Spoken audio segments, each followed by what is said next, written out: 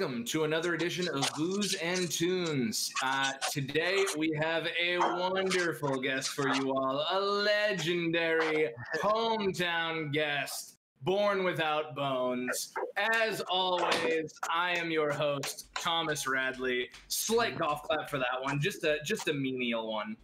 With me, as always, my cohort and co-host Lee Wargi Wargo. Another golf clap for that one. Couple Oh, more fingers okay. there. And Arco Andrew Grimbeard joining us in the Hawaiian shirt yet again. Slight golf clap. No golf clap needed for this one. Let it rip, boys. Born without bones, ladies and gentlemen, in the building. How you guys doing this evening? Better than Lee. Wonderful. We're gonna act like we haven't talked for the last half hour. Uh, into this one, we're gonna have you guys introduce yourselves on cam just for the viewers out there. So go ahead. What's up, y'all? I'm Scott. Yeah, I sing and play guitar and born without bones. I'm Jonathan. I sing and play guitar and lower levels. Mostly guitar though. I'm Jim. I play bass and uh, sing also. I'm bored of it. Well, let's dive right into it then. What we want to lead you off with, as we tend to, is the very beginning, if not before the band. Uh, I want to hear. I'm gonna. I'm gonna give you some word association. You tell me what comes to your mind. Fuck yeah, crepes. Probably Rachel's Creperie in Lancaster, Pennsylvania. Nutella. Yeah, and then, but I, so so I recorded uh, "Say Hello" in Lancaster, Pennsylvania, um, and there was a like a spot like two blocks away from the studio called Rachel's Creperie, and we ate there a ton while I was recording, and then like even randomly sometimes like when I'd be like driving through Pennsylvania, like I would just stop there and get the crepes. I've got I've got a Rachel's Creperie T-shirt that like it doesn't fit me anymore, but now it's on like a blanket that my mom made for me for Christmas. I love so, it. yeah, I love Rachel's Creperie. I always got the Turkey Club crepe, which is kind of weird, but I, I like sandwich Wait, crepes. what? Yeah, it's either last time you- it's a crepe. Yeah, it's, a, it's a crepe. It's a crepe sandwich. So like this spot does it like The more you talk to Scott, you realize he's a freak. yeah. So like no, they do like they do like a lot of dessert crepes, and those are great too. You know, like I'm like a Elvis, like the peanut butter banana, like that's my that's one of my favorites. But they do like sandwiches too. So they like put they literally like fold uh fold turkey and like turkey club shit in like a crepe and and it's like a sandwich and it's so good it's so good seriously Okay. If you- you've limited your if you've limited your crepe intake to dessert crepes, you're there's a whole ocean you're missing out on. Is There is an sandwich crepes. ocean that we are missing out on. yeah, and that just yeah, Turkey yeah. club Anything that you get crepes. in deli, you can get in a crepe. Were you prepared to hear that answer? Were you ready for that? So no, that's a perfect lead-in because I did hear "Say Hello" in there. Uh, are you guys aware that I can still get "Say Hello" on a MediaFire zip?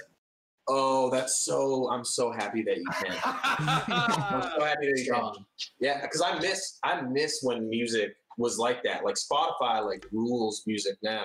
Oh, and like that, Yeah, it's fine, but like the you know, sending MediaFire links back then was like, oh man, I got like a rush of excitement, like receiving MediaFire links, sending them.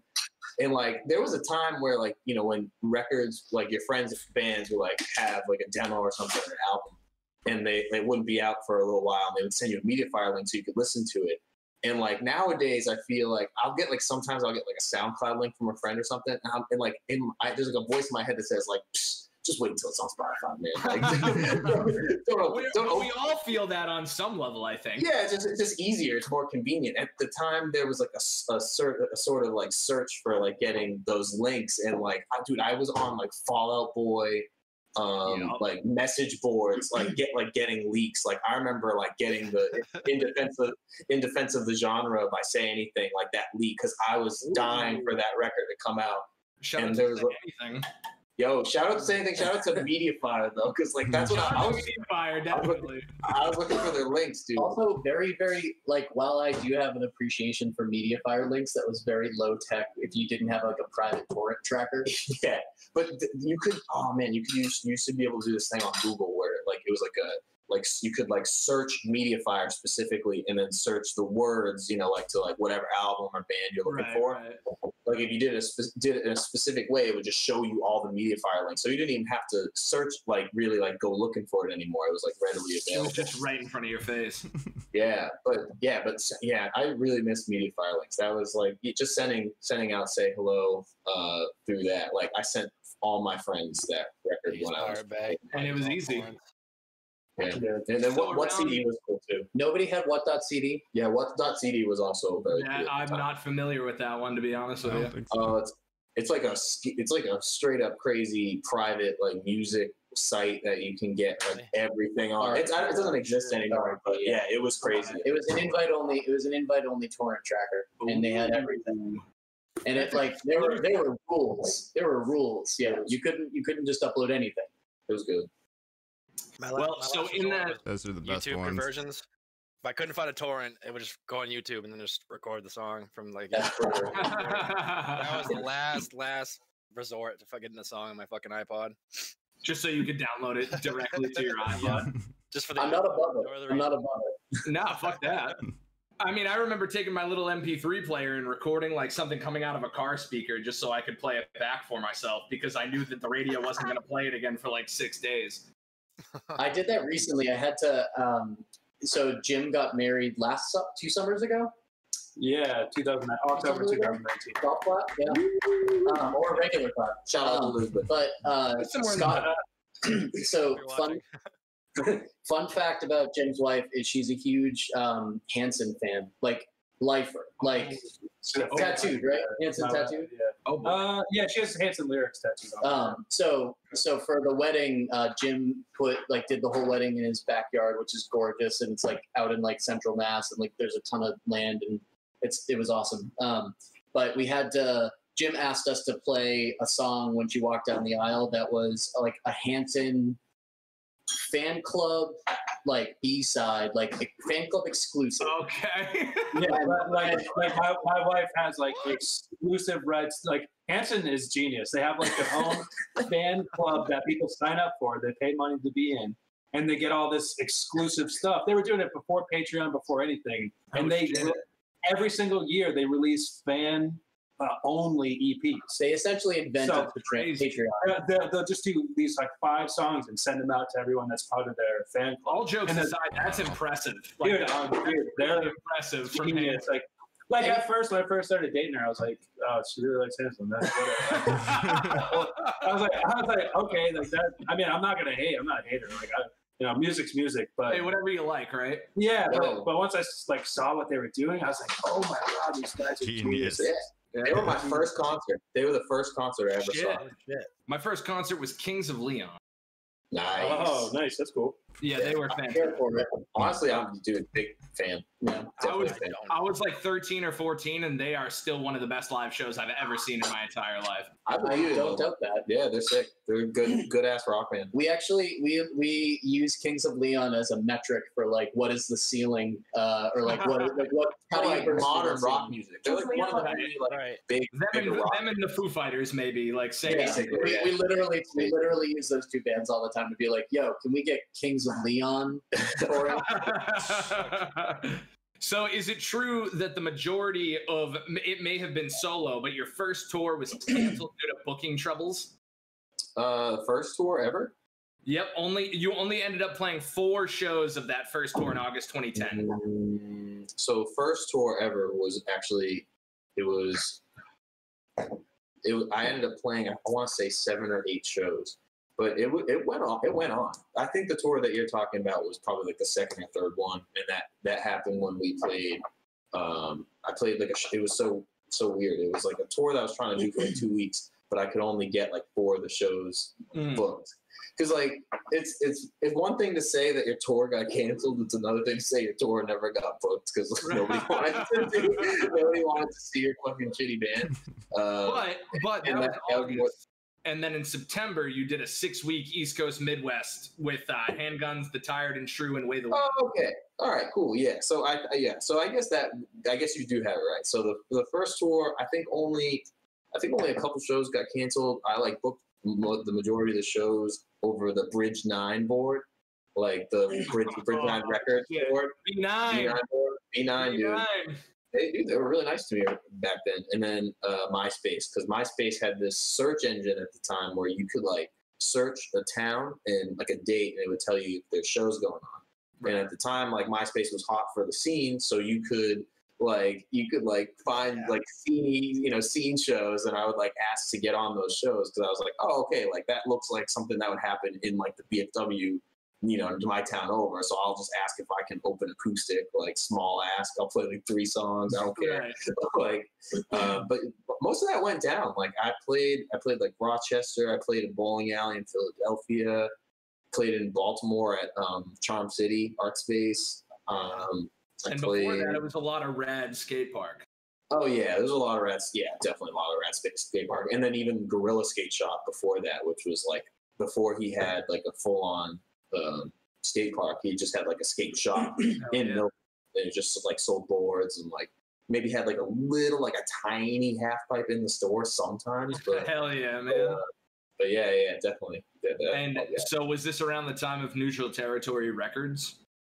Yeah, yeah. So yeah, Neutral Territory put out. It's that's cool because I've been. I actually just recently bought a Say Hello cassette that I saw go on sale on Discogs because the story behind it's kind of wild. Um, there was my friend Corey ran Neutral Territory, and he made hundred tapes of uh, of Say Hello. That was like the initial release of it. It was like album came out. It was on iTunes and cassette. like that. That I like for some reason I was yeah, like. man. I was like, that's cool. And uh, so, like, 25 of them he gave to me. I think they were all purple. And then 75 of them were orange. Uh, and he was selling the orange ones. But he got his car stolen shortly after he made the tapes. And the tapes were in his car when it got stolen. And the tapes were never recovered. So, like, I sold my 25 purple tapes on the road but those like 75 i think he sold i think he might have sold like 10 online at the time like the rest of them just got lost in this like stolen car so like Oh. anytime yeah anytime i see those tapes pop up i'm like yo i I- like especially this time i was like oh i'm gonna buy that because there's just well, there's probably only like 35 or 40 in circulation Hell yeah. That's And so, in, in that kind of same vein, it, like you guys, I mean, you're not afraid to say that you guys are a DIY band. And Yeah. it seems as though in that circle, though, the difference, at least in my opinion, my horribly untrained opinion, you guys are much more of like a catchy, poppy, like the, the alt rock, more as like most of the DIY bands that we talk to, at least, are much more, you know, it, it's much more punk focused. But you guys have you guys have the melodic factors to you that I feel like have have brought on maybe uh, some or a good amount, maybe maybe a lesser amount of fame, but that that seems to lead into like things like Stone and stuff like that. Yeah, I mean, um, yeah, we're definitely a DIY band. Uh, I mean, I think Say Hello has a lot of like super pop punky moments, and Yeah. like Hell yeah! I it is. I associate a lot of DIY music with pop punk too because at the time when I was playing those songs and like touring with bands that sounded like that, like they were also DIY bands. It was a lot of that, especially you know in Massachusetts. I feel like at the time it was definitely a lot of hardcore music, and then like yeah, a lot of pop punk, and th- those were Yeah, kind of the yeah. two sort of like rivaling scenes in like even in my like town, like like our like Jonathan and I's like immediate um like friend groups even in high school like that you were either going to be in like a metalcore Those, band those or a clashing band. ideals. yeah or you're going to be like a pop punk band like those were kind of the two those were the th- those were the kind of two camps We were a house divided. yeah but like yeah it's true but yeah by the by the time baby happened i think we kind of like started to settle into more of like you know um like through i think through a lot of um like recording the instruments on my own early on there was like a lazy comparison that people would be like oh that's like the foo fighters record like the first one because dave grohl plays on it and i was like our music doesn't really sound like that at all but from that comparison i like definitely went and checked out that first foo fighters record so, Right. like I, I was super Great record, by the way. Great. yeah, Great record. yeah, it's so sick. Yeah, like I was super obsessed with that.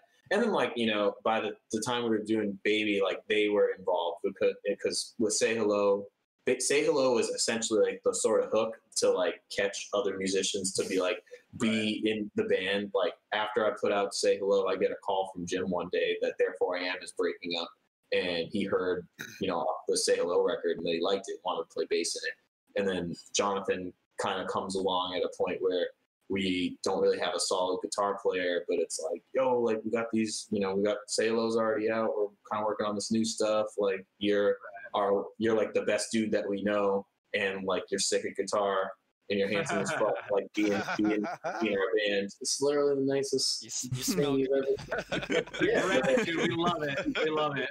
Yeah, John literally is like one of the best guys you'll ever. meet. yeah. John John's like He's our a goal. message ever. Horrible feet though. Yeah, dude. No, Feet like a hobbit. He's Really bad. Yeah, he's got feet like a hobbit.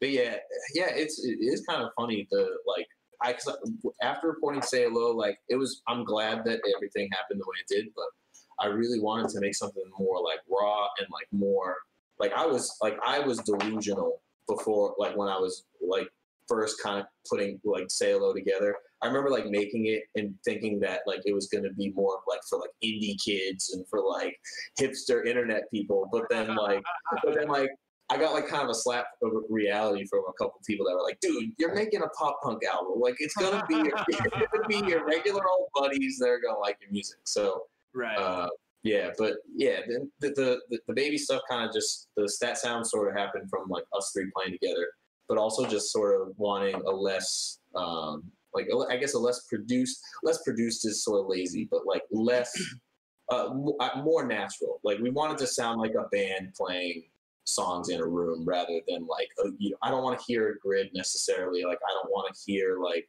a bunch of like synthetic sort of sounds. Like right. we, we wanted to hear we wanted to we wanted to hear like natural drum sounds and like we wanted to like play the Oasis live. thing, yeah. They had Yeah. they had like six different producers come in because they couldn't capture their live band essence. Yeah, we actually record. we actually ended up recording "Baby" like a lot of the music live because that's what the, the sound we wanted to be able to capture. Hell yeah, and, Like and- and it worked. So you know what? More po- more fucking power to you. Yeah. Uh, so before we move on, two last things, Scott. I got one for you, real quick. The dismemberment plan. yeah, one of my all time favorites. What about the city? Uh, that's that's top ten favorite songs all time. I actually, I was gonna start a blog. I was gonna start a blog uh, and like just tell like random stories about music that I've gotten into, and that was one of them. Like, cause I like, I was obs- I heard um, Gyroscope on Mark Hoppus's podcast, and I thought it was one of the catchiest songs I'd ever heard. But it was like so such a weird song, such a weird time Right. signature. Uh, and I like called Newbury Comics, and I was like, "Hey, do you have this CD in stock?" And that's like, you would call Newbury Comics. "Yeah." like, I called And then you Newbury Comics. Newbury Comics. Yeah, yeah, oh yeah, and probably yeah, three years after I ended up playing it. Yeah, dude, Uh, Newbury. Anytime new, if I like ever see like a used record of ours at Newbury Comics, I get so stoked because like Hell I- that, that was my that was my uh, you know I was obsessed with going to that store when I was a kid. Oh, it But, was uh, best. So the last still- thing to touch on was you sang and played guitar on "Home Like No Place Is There" from the Hotelier. Is that true? Yeah, that is true. That's true. I like the way you say hotelier. That's- so it's been like this constant thing that we all joke about because I know they, they were the hotelier and now they're the hotelier. And Yeah. I don't, I just, I still just kind of keep it in the middle just to tease everyone with that. So I'm glad Yeah. that you pointed that one out. But so that is true though. You did. Oh yeah, yeah, for sure. I've, I've toured with them. They're they're my buddies uh, at the time. Like it was crazy, dude. Like look, looking back on it, I was we were jamming baby songs in our practice space, and then I was driving across the state, like to Western Mass, to jam with Hotelier, and we were working on "Home Like No Place Is There" songs. Like That's so, it, like that's so in- crazy. like in the same in the same weeks like that was that was happening you know so it was pretty it was cool definitely a really cool time like everybody was pretty gassed and like gassed up on like playing music and like we're really starting to put out like some cool stuff so it was, it That was a would be like a top five for me in like DIY moments. Finding that out, I'm not even gonna front like that. That finding that out that the guy from Born Without Bones worked with the Hotelier on this album that I still consistently listen to all the fucking time. I read that and I was like, no, that can't be true. Copy and pasted it, sent it to Lee, and I was like, did you know this? Yeah, he was crazy. absolutely not. like, mind blowing. Yeah, yeah. No, I, I I toured with them as recently as like 2018. We played or 2019 even. We played four, we played four shows with uh, Jimmy World out on the West Coast. Dude. It was So like Jimmy uh, World Live just a couple years ago with uh, Incubus, I think it was. Yeah, so that's sick. Oh, that's Yeah, sick. so That's sick awesome. Yeah. Yeah, we were. That was at the Xfinity Center in Mansfield. Nice. Hell yeah, it's called Great Woods. Get it right. Yeah, it's Great Woods, bro. Great Woods.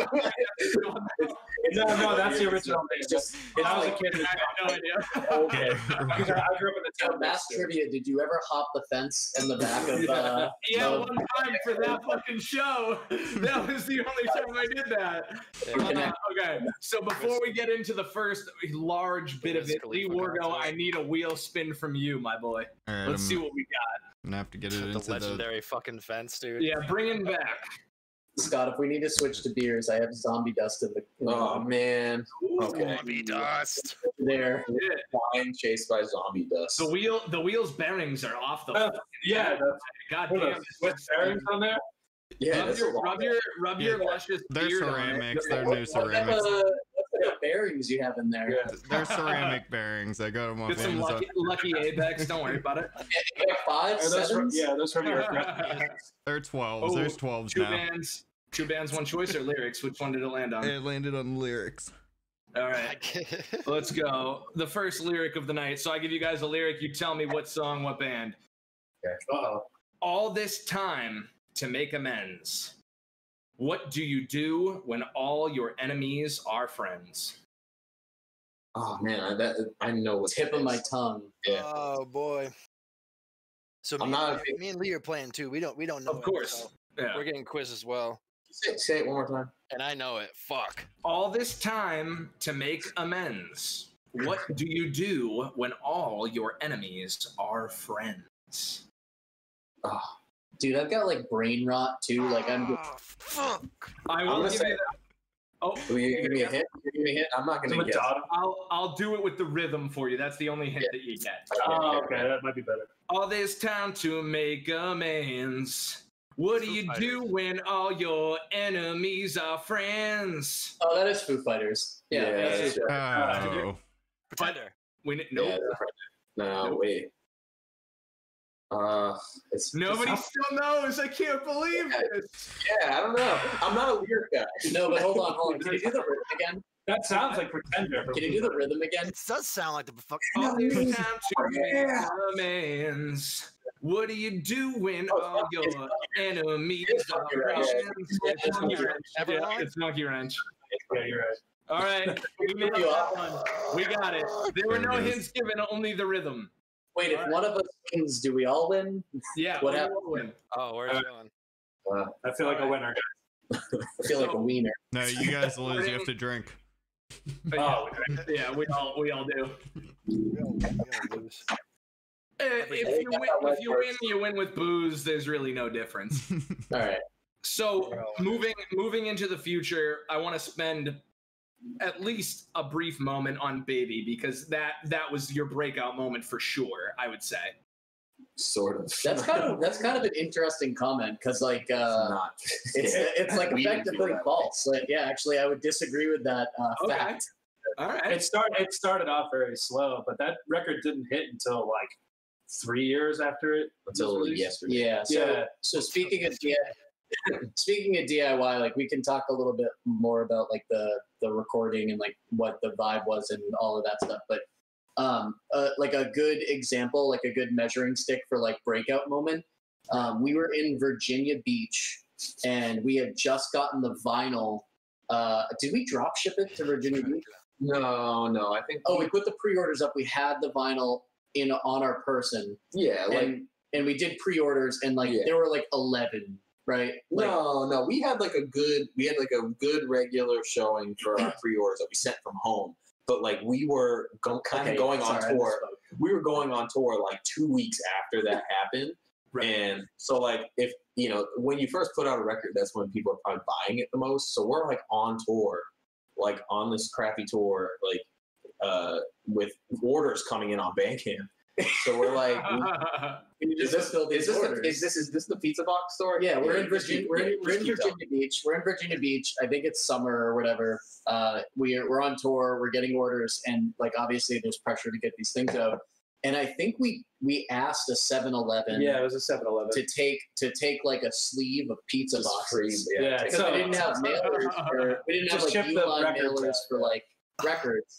Oh, and we and we like we like rickshaw No taped way. together a bunch of uh, pizza boxes to send out Shit, records. We turned them inside out. The Yeah. 7 Eleven lady was so nice. She gave us like a whole plastic sleeve of So we're like in the parking Hell lot. yeah. we're in the Full parking lot of the 7-Eleven 7-Eleven in Virginia just Beach. taping these Shout Shout out to pizza boxes. in Virginia. And then, Yeah. and then I think I think I think Scott ran into like the post office and dropped it in there. And another fun fact is Scott loves the United States Post. I do love Yeah. you guys. like truly, truly, like like I know that there's like it, it is there's the allure that like the postal service workers are truly the least happy workers in any any facility. But Scott is the antithesis of that. He loves being a customer. He like Well, knows and maybe name. that maybe that's like a tell about his personality, like walking into uh, this space where you know that these these people are, These post office accepting the mail they want to bring. You walk in, they're like, "Hey, Scott, what's up? Show some records." they know him personally. they do. It's, it's you think we're just oh kidding? Oh my god, that's So yeah, that that is the measure of success for breakout is uh, uh, the mailers from 7-Eleven mailers. It was so stamps. speaking specifically popularity wise though like spotify numbers and whatnot it seems like baby is probably the most successful Oh, now, yeah.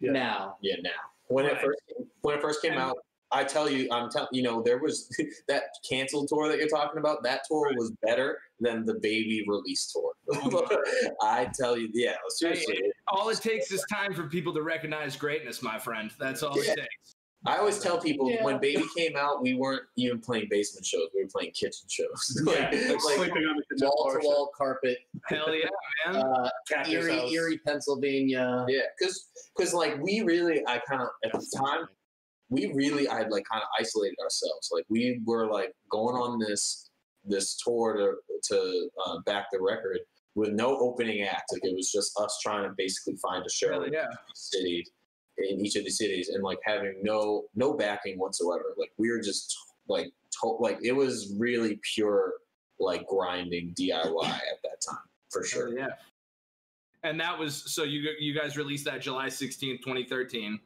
Yeah. that was recorded at magpie cage in baltimore maryland Yep. J. Robbins, yeah.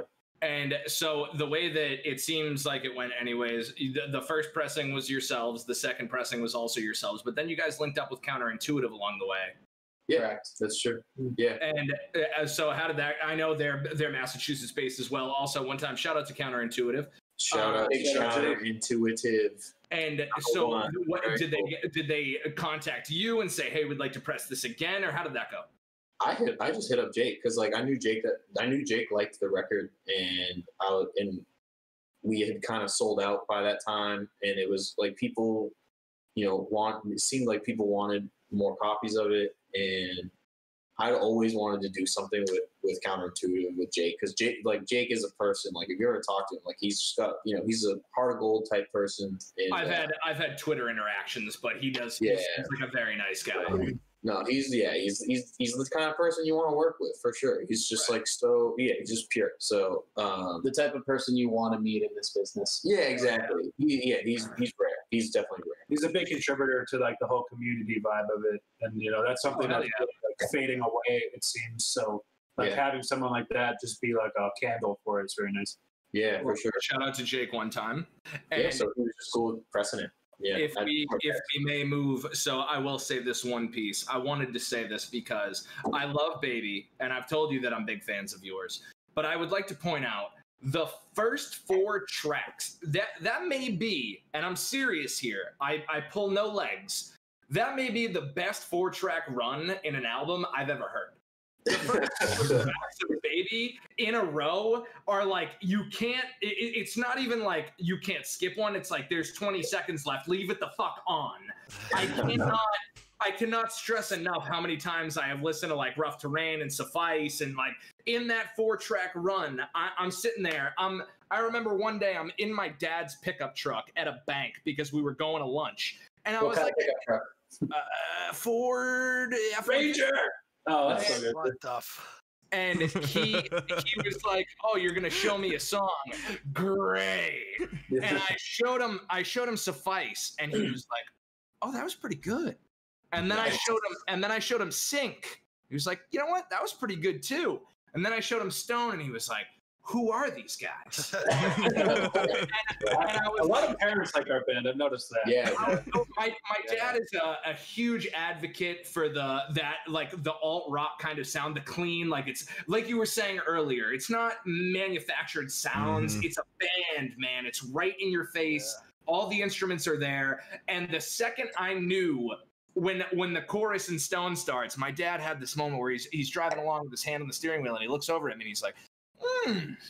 I yeah, he loves it. I knew it. I knew it. Now, that's really cool. That's a good sign. Yeah, no, par- yeah. When parents like our music, it gets me so stoked. I feel like that's like a like a pretty consistent Next theme. segment, though, I have to pee and grab another cold one, so we can all take a fiver if you guys have to pee or whatever. Do whatever. Yeah. Yeah, we'll get some more drinks. Can we Yeah. Yeah, let me grab a couple. Uh, so before we actually move on, I did want to uh, do the segment we usually do. So we're gonna go around and we'll tell you our favorite songs off of specific albums. We'll start with Baby because we were there. Mine is Rough Terrain, has to be hands down. Nice. Viri, Why? Hold on. Do you, can you do a why? Do you do a why? I feel why? Is that on Yeah, the no, that's, no, that's totally fair. I feel like the first time I heard it, I was in my car, and when that when that hook, like "Summer's coming, it's a rough terrain," I I remember so vividly being in my Ford Focus and being like, "Oh shit! All right, let's go!" And like I was like, "All right, I gotta listen to the rest of this." And then lo and behold, it ended up being the first song on the album. I heard it on like a Spotify playlist or some shit. And I was like, all right, I gotta go listen to this. And then I found Stone was the intro and whatnot, but we'll get into that. Okay. So, Viri, favorite song, favorite moment, go. Off of Baby. Yep. I like uh I like Stone and then slow motion at the end of a little bit where he goes your voice goes really high. and then right after it That's good. we like slow motion. and Uh, Lee Wargo. it's just back I- and forth jamming and going slow. I love it. I think Spotify got it right because my two favorite are Stone and Baby, but I really like the screams like a lot. I I think that they're just like perfectly done because it's just Dude, that's what I'm saying though. In Rough Terrain, man. Yeah, yeah, yeah, yeah, Yeah. yeah. Oh, dude, fucking, it, it, it breaks my soul. It really does. I think about it every day. That's so funny. But, What is yeah, you guys' favorite song off that record? off baby? Um, I mean, slow motion. It's experience. Slow, slow Oh, motion's slow up there. Okay. Slow motion. I like playing Stone a lot. Yeah. It's fun. Yeah. Mine's probably. I mean, not because it, it Stone became like a more popular song recently, um, Yeah. but yeah, that's always been my favorite to play because like when we play it live, we're always like do sometimes well not always, but sometimes we'll do this like extended jam in the beginning. That's just super, it's super moody, and I that Jazzy. yeah, it's kind of jazzy, quiet. Like you almost want to turn on like lamps when I play it. So I, I have a lot of fun playing that. Uh, Yeah, I don't, Most underrated song, I Was in Love. oh, Hell yeah, like I love yeah, Yeah. yeah. Song We, that's one of my favorite songs. I don't know. Sync Sync has like I think one of the more interesting guitar parts on that record. Yeah. It, it's a cool. It's like a very unique guitar part. Like the hook is cool. Um, we don't play it a ton Yeah, but anymore. we played it a bunch. We played it a shit. yeah, we we, we Do you keep the guys shit play out of it. Suffice a lot?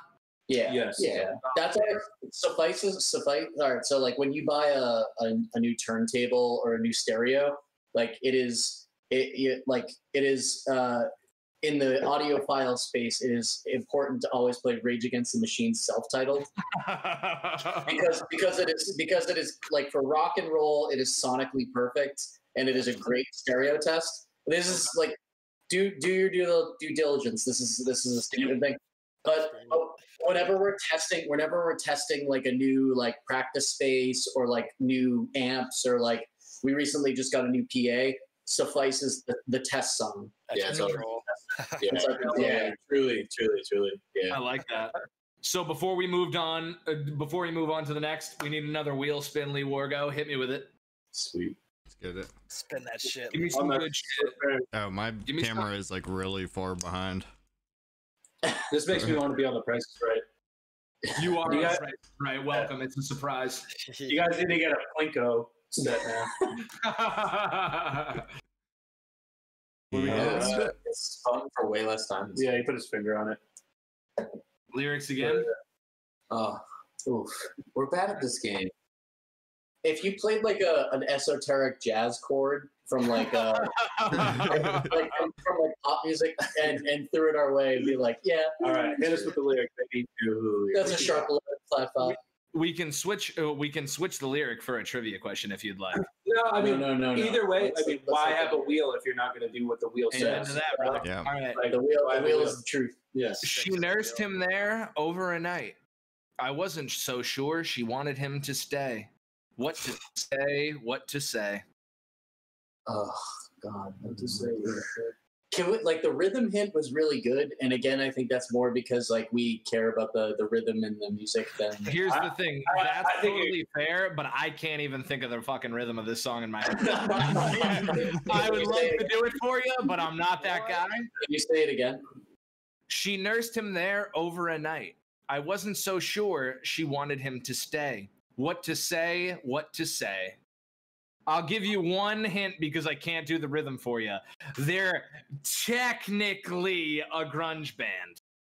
Um, Technically, man. To light They're Why not? associated with grunge. I don't consider them grunge. What, Alice in Chains? Is that? No, is that I who it can- is? that, that is definitively grunge. Yeah. Is it? Is Yeah. it Lifehouse? I consider Alice in Chains Absolutely, grunge. Uh, is it Goo Goo Dolls? No, but that's hilarious that you bring that up because we It's discussed this Nickelback. earlier. Dude, with Metal Blade Nickelback. Records. Look it up. Uh, have we given up? We've given up. That is Pearl Jam, Dissident. Oh, Oh. John! Honestly, Dude, dude, also honestly, fault, uh, yeah. Uh, all right, guys. Again, let, let's name, uh, uh, hey, here's a trivia question. for you. Can you name one more questionably garbled vocalist than Eddie Vedder? yes, that is more. Not even uh, remotely close. On a wizard, on a whale. Honestly, Uh, All the wine. like if, if you pulled like the top three Pearl Jam songs on Spotify to a common audience and said, "Name the lyrics to this chorus," you would have a spray in there. Nobody, nobody would know. All right. Um, so the next, the next large section that we'll get into is, of course, Young at the Bend. Now, this was May twelfth, twenty seventeen, so only about four years ago. Yeah. And coming off this record, you guys were still touring and still doing shows pretty consistently. Yeah. This was recorded February between February and August 2016. Uh, Clinton Lisboa at Soundbox, correct? Yeah. yeah, Clinton. Bedford, Yeah. Mass. Oh, Massachusetts, yeah, shout out Clinton, Mass Health. So I feel like uh, one thing that I would be remiss to not bring up would be the fact that the general consensus of this record is that it's more of a mixture of both "Say Hello" and "Baby." You guys, you refine the sounds, the poppier aspects, as well as the grittier and the grimier aspects. And there are, without a doubt, some of the best songs you guys have made on this record. And of course, we know the painting right there. So we want to dive into this a little bit. I know you guys mentioned there was a story. You start where you will, but tell us a little bit about Young at the Bend and how it came to be. Um, well, also that's a really interesting take on the uh, the mix of the other two records because it's uh, I I think that um, I don't know. I just love hearing the uh, I guess like the takes from the outsider looking in on what Absolutely. That's, I wanted to bring that up because I know you guys probably think of it in a different manner. Yeah, but it's uh, but we don't matter, right? Like you're the, listener, the listener matters. Like that's Right, honestly right. like so important to to us. Like just like what your interpretation is. Right. Um, but I don't know. Uh, I don't know this. So like behind us, like uh, my friend Lucia uh, had been painting a series, uh, a series very similar to this in different colors, um, and it just happened to be that I think literally the story is like one day we were in the studio like looking for album cover inspiration, and like she posted something on Instagram or something like that. And we like just sent. I think he. I think he just like literally sent it to like our WhatsApp like group chat, like we're just us three. Oh, okay. And uh yeah, for like I I kept that picture like of that painting just like saved on my phone for a long time. Right. and uh, like I just kept coming, kind of kept coming back to it, and some of the title ideas uh, for the record kind of matched it. Like Blueprints, which is like a interlude that ends up on the record, like that was kind of in the running for like a title for the record. And I was like, well, there's like shades of blue in that, so like that could kind of work. Right.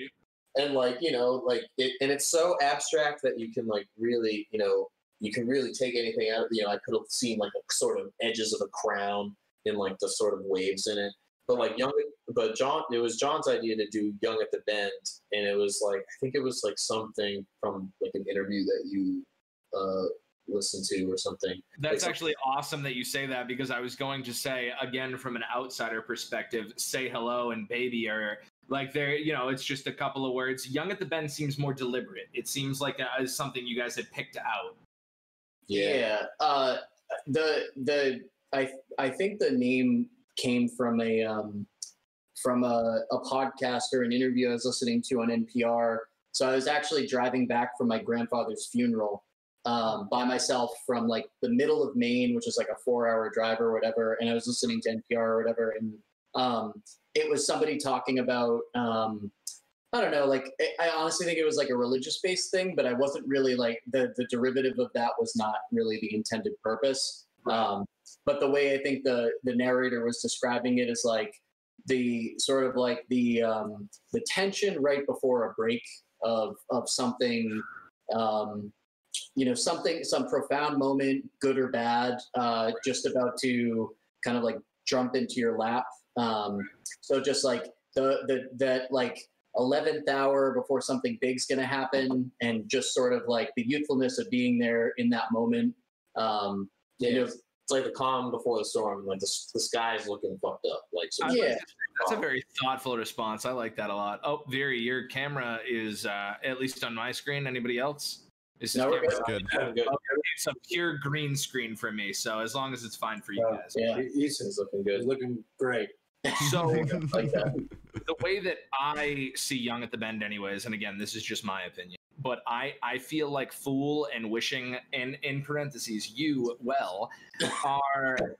I mean, easily two of the best songs you've ever made, recorded, written. Uh, I- mean, they're just they're undeniable in not only their songwriting, but the sound of them is so full that it just like it punches you in the throat. So I would I would say that those are by far my favorite songs off that. Uh, do, do you guys have a favorite off that one?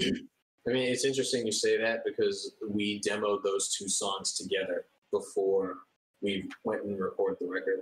And like the record that we're making now is like the first time ever, I swear, the first time ever where we've really done our due diligence and like demoed like a lot of songs in the past. Like Say Hello, every demo for that record was basically well, I mean, it was recorded twice, but like all the demos were just like iPhone recordings or like the, the internal mic on like an iMac. Um, and then Baby, like we did like five shitty demos in the in the practice space, and we basically just made them like shrugged and we're like, "That's yeah, we did, we demoed, cool." Those will see the light of day someday. Yeah. Yeah. But young for Young at the Bend, we demoed um, "Fool" and "Wishing Well," uh, like a few months before we went. into Actually, recording. yeah, that was kind of that's that's an interesting demo story because sort of that like was sort of, Song. but like that was like kind of like a tryout for for Clinton, Clinton, yeah, yeah, because we were like, oh, like we want to record somewhere local for this, and um, yeah, we went into demo with Clinton to see if like we vibe, and then we totally did, and like it, and it totally worked. yeah. Well, it's all. I mean, hey, any working relationship, you got to make sure that you, you know, you enjoy the people you're working with. So that makes perfect sense. But I mm-hmm. would say my favorite song from Young at the Bend for me is probably Romance, Romance or Wishing Well. Those two songs because they both kind of came about in a similar way. They were- they kind of were the kind of songs that just fall out of the sky. Okay, I see. Right. And For what about me- what about the rest of you? For me, I would say "What I Was Missing" is my favorite song, just because it's like more the softest thing we ever did, and it was like I think we we do as the three of us were really good at like doing the rocked out thing and like really you know putting a lot of energy into stuff.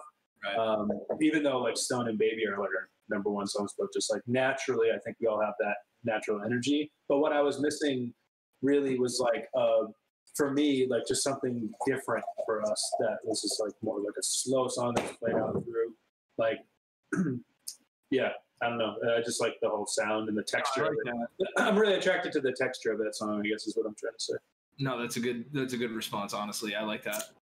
I, I actually think the exact same. Um, all of Jim point Jim's points are uh, in my head. Um, I, I will say that was one of the hardest songs that we've ever had to write. Yeah, it took a while to, to like really lay it out. Was that Um, one of the longer songs that you've had to? Yeah, Yeah, I'd say so. It I took a lot of practices to really get it get it fully going. yeah get all the hits and everything right I want to say it like almost didn't make it too. Like it like there was that was like a in the maybe pile for a while. Yeah, totally. Yeah, that was totally like a fourth, yeah, fourth quarter song because that was one of the last songs we recorded. We did that record in like multiple weekends recording wise, and that was recorded in the final weekend of, of uh, like the sessions for that record. Yeah, and like when, when you play it too, I don't know if it goes for you guys, but for me, like you, sometimes like I grew up playing sports, and you really have to get into like a mental place Oh, to be able to perform. And for that for that song, I really have to like calm my head down and like really focus and get into a different spot and like really focus on bringing my energy down to Especially, be able to play. it. especially after we're you know we're playing like a set of like you know say playing a set of like ten songs, like seven of them are just like you know like sort of head banging, like Right. with, you know kind of driving rock songs, and then like three of them are going to be like you know the Stone Baby, What I Was Missing type things. Like so yeah, to get down to the that it's like kind of tough sometimes because it's like literally going from like sprinting to like doing I don't know like meditating or something. Yeah, yeah, exactly. Like you, you're really like putting your feet out on the ground to slow the brakes down. Yeah. You know, and it, mentally, that's that's really tough to do. All right, here's an analogy. Like when you're when you're playing sports, everybody always says stretch after you play or stretch after you work out, Mhm. and nobody ever does. Yeah. What I was missing is like, dude, you gotta stretch. Yeah. On that you're gonna you're gonna tear a quad. as a as a baseball player, every time I would be in the batter's box, the the only thing going through my head from the ages of probably nine to fourteen was becoming the bull by Atreyu, because I would have to Nice. up with my army man, Yeah. I'm gonna fucking hit one out, buddy. And Yeah. That- so I, I completely understand your uh, your analogy or metaphor there. Uh, Viri, what's your favorite song off Young at the Bend? Fool. Gotta nice. be. full- I mean, it's a Nice. masterpiece. Lee Wargo. I fucking love it. It's not. It's one of our least popular songs. yeah, which is funny. Yeah, that's cool. Yeah, that's cool. I love that fucking song. I like uh takes time and young. Those were two of my Nice. favorite. And And you it, do get that, that sort of heavier sound. it was different uh, what's that?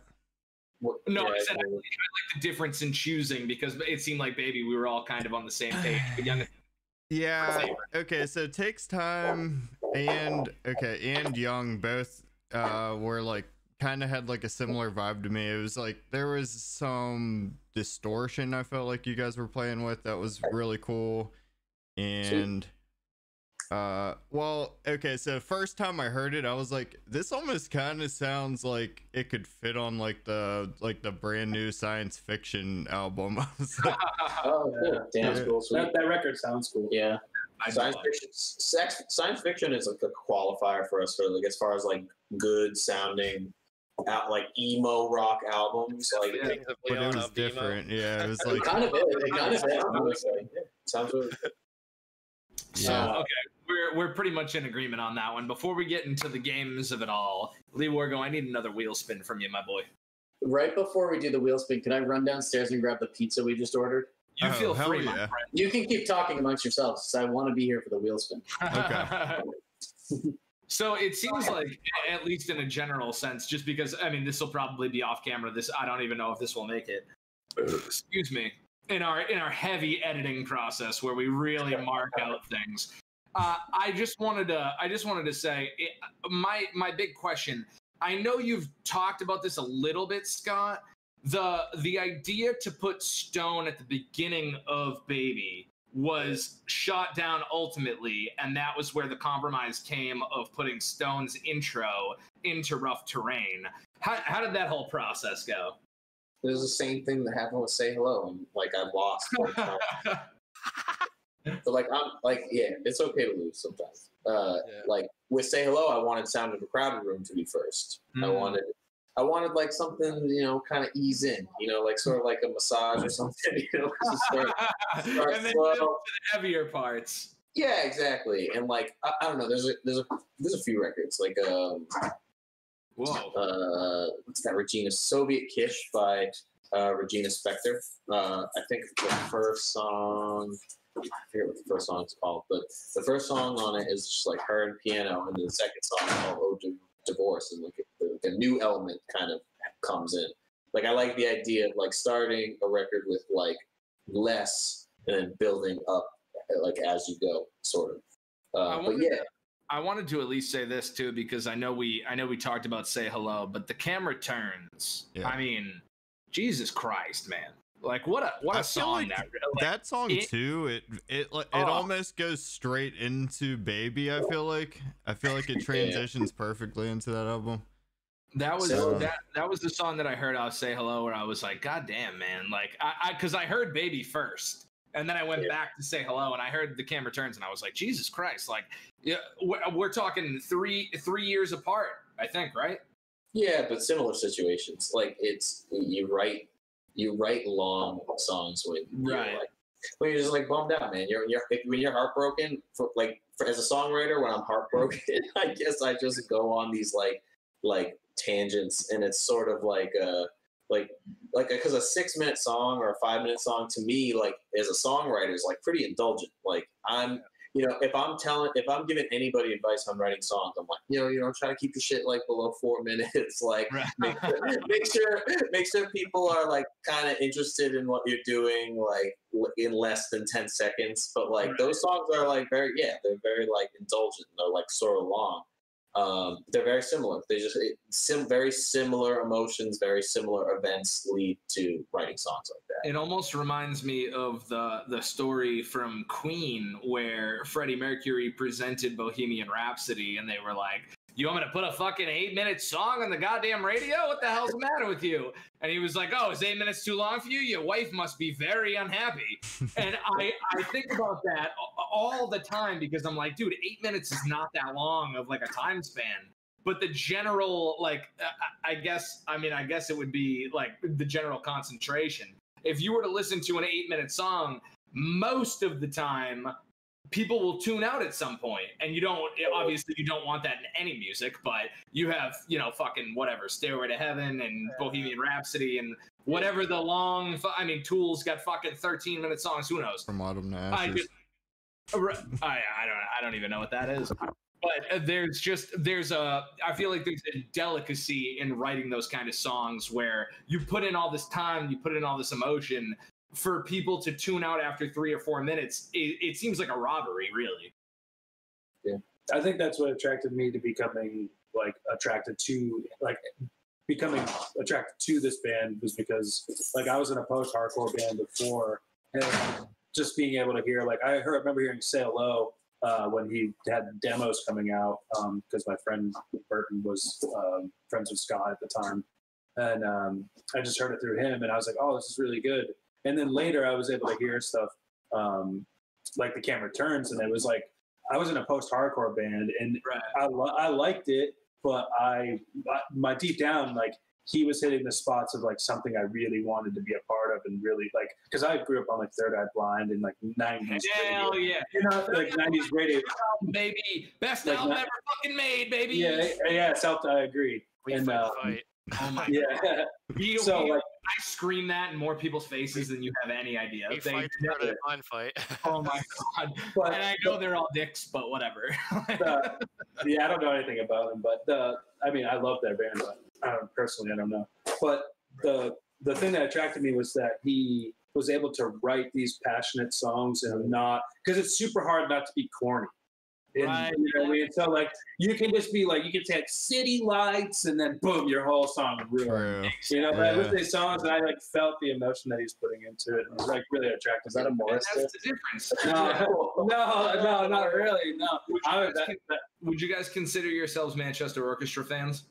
I am. Yeah, I saw them. I, they're one of my favorite rock bands live. I think they sound. I have awesome. seen them live 14 times. Wow, Uh, that's that's that's a lot of times. I love, I love Andy Hull so much because yeah, he's, he's got a cool like voice. you were just saying, there's a very fine line between being a cliche and corny songwriter and getting these emotions to be evoked through like actual, like visceral, especially live. I heard Colly Strings live one fucking time out of the 14 shows, and I must have been like, surprised they didn't it. Oh, I lost Yeah. my mind. Me and my Yeah, and brother- they're they're a great know. band. They're a great band to to like that is exactly that. They're like they hit your emotion, but not in a corny way, and it's because like the person delivering it is there's a realness coming through it, where they actually are feeling those things that they're writing about, rather than being like you know just a Kraft macaroni and cheese of, like, yeah. of emotion that people are a trying Kraft to push out. macaroni and cheese of emotion. You know, Cannot think of a better way to bring Yeah. us. that. Put that on a T-shirt. yeah. I'm gonna, I'm gonna, I'm gonna make t-shirts now. Uh, Uh, last one at Lowell with the front bottoms. oh my god, we went They, to see. they, they, they played the oh. sunshine, and I got fucking chills on Oh. my toes. I was like, yeah. We saw, That's we saw crazy. front bottoms. and they played it so well live. Oh my god, yeah, they're really good out there. that song crawled straight through me when they fucking played it. There was an opener. I cannot rem- recall who it was, unfortunately, but this crowd of I don't know, a very eight, eight, nine thousand. I mean, Where? they. It was as if It, was, as a, if it was they a didn't UMass. know. It was, it was a college show. It was so there was. But it was a, it was a stadium. It was at um, the fuck is it called in Lowell? Uh, Tsongas Arena. Tsongas. Yeah, yeah, yeah. Tsongas. Yeah. Uh, it, w- but it was as if these these people had never heard of Manchester Orchestra, I think- and I they're I think they were too late. They're playing like they're playing uh like the gold and uh what's Yeah. the uh fucking No, what's the no um, one was moving. No one was like. I was like, I was so taken aback because I'm screaming, probably ruining people's nights, and just Yeah. having the time of my life. Because I mean, I just want to see Manchester play whatever they want to play. This one right there. Um, the the like I have a very particular like a weirdly close group of friends um, that are like I've had since high school, and it's weird. Like I don't feel like a lot of people stay very close with their high school friends, but I have like seven or eight friends that are like deeply still like very close and uh, talk every day and whatever. Like it's it's almost but they're all like deep, deep, deep Manchester Orchestra extension into bad books and sen- Hell extension into the captain stuff like I, lo- I love me some Kevin Devine. I will be honest, the sum of the parts I feel like is not equal to their individual talents, though. Andy and Kevin Devine both write amazing music. I'm not, I, I'm not a huge fan of Bad Books. Never have been. Yeah, I saw, Yeah. I saw them once at Sinclair. It was fine. It was good. Uh, It was, dude. It was crazy. It was bad books and front bottoms. Sinclair, though. And front bottoms venue in Boston. opened were opening for bad books. So it was Oh. like this, this was pre. This is like pre um, town. Was it Talon of the Hawk? Is that what it is? That what Yeah. that- Yeah. Oh, So this is Can pre I- Talon of the Hawk. Yeah. Can I tell you my front bottom story because it's one of my favorites? Yeah, I went, I went to see a Manchester Orchestra show. I might have been 15, something like that. This band's opening for them. And they got wacky, wavy, inflatable tube men in the Oh, band yeah, yeah, yeah. going fucking berserk. And I'm sitting there with my older brother Peach, and I'm just like, eh, eh, you know, I'm pretty drunk, I'm pretty stoned. And shout out Peach one time, love that kid. Shout out Peter Joseph, And no, it's PJ? Paul Uh, Joseph. So it's Oh, amazing that you were that close, though. That's fucking crazy. He's gonna love it, though. He he loves you guys, actually. just a great Uh, guy. but so we're we're sitting there, and we're like maybe in the middle of the crowd, and nobody's really doing much. And I'm I'm pretty drunk at this point. Like I said, I'm like 15, 16. Uh, legally speaking, I was 21. So you had you had you you probably had a four Loko in the parking lot. No, I snuck in a sleeve of nips and uh, I was just pounding them. And uh, so all of a sudden, I start hearing the song that uh, became Skeleton And I remember, I remember so vividly being like, "Yo!" I turned to my brother, and I, word for word, I said, "Is this wicked good?" And he looks back at me and he goes, "I was just thinking that." And for the rest of, for the they may they might have played two more songs, and I remember going home and being like, "I'm gonna go listen to the fucking front bottoms for the rest of the day." Like and that was that was a mind blowing experience for me. And then I ended up seeing the front bottoms. I don't know. Me and Fury probably seen them ten times alone by ourselves. But that th- those are two of the biggest bands that we've seen the most. All the front bottoms. That's sick. You guys sound like fun people to go to shows with. You guys sound like future Phish fans. Oh, dude, that's a that's a trip, and I don't think you meant it. You were sincere. You felt you felt. Yo, straight up, if you love live music, I, I'm not. I'm not a huge. I'm not a huge Phish fan uh, personally, but like, like if you love live music, you love it, and it like it affects you emotionally. It's like Phish is kind of that's that's the road you're going. Yeah. down. I've actually seen Phish live. I can I can attest to this. I'm gonna. Yeah, I've I'm seen not, it. Yeah. I'm not huge into Phish or anything, That's but like, I I mean at this point it's probably been 400 or 500 That's- shows that I've been to. So I just like, All right. I'm not, Alright. yeah, I just like honestly at this Phish. point there there Did are so many twice? times. Jim's seen Phish. Did you I see saw them twice? Phish twice in You a row Phish at the twice. Worcester DCU Center. Hell And- yeah. Dude, I'm not a Phish fan. I wasn't a Phish fan before, and I'm not a Phish fan after. But that was one of the best shows I went to because the lights were crazy and the mushrooms I took were awesome. There it is. Dude, I took, dude. Those And- So, dude, so here's here's something I don't understand about Phish. You go there and you, you see all these people in the Phish. Every dude is the ugliest dude you've ever seen in your life, and every girl is gorgeous. Dude, I know exactly. Absolutely, it makes have no sense. It makes no sense. splits the mold very well. Yeah, I'm like, dude, people don't know. People go to a Phish show. Yo, Phish is rich, rich people hippie music. Yeah, yeah, I you to, understand that. you have to be rich. Yeah, like- you have to have a good tech job. They got Birkenstocks without the A feet good mark. tech So job. go to a Phish Yeah, or, show. or or you're like or you're like a like a financial analyst, um, but you're you, you save up you save up your vacation time and you do the baker's dozen in New York City. You and, definitely uh, took a shitload of acid when you were like 19, Yeah. 20. Yeah, that's the. but you but you but now you like now you like buy like now you buy like your drugs on the Silk Road or like whatever the successor of that is. All right, because you do because you have Bitcoin If I it. if I bought Bitcoin when I found out about the Silk Road, oh. I'd be a good jillionaire, dude. If Oh you yo, yo, if you bought I, no, like we were there. Like we were like when we opened up the Silk Road, dude. We had like uh, tape over our cameras. Like we were super scared. We were like, dude, are we gonna buy DMT on the Silk Road? Oh and then we are like, we, all, like, we just need this thing called Bitcoin. We just need this thing called Bitcoin. And I was like, what? What is Bitcoin? My roommate was like, I don't know what it is.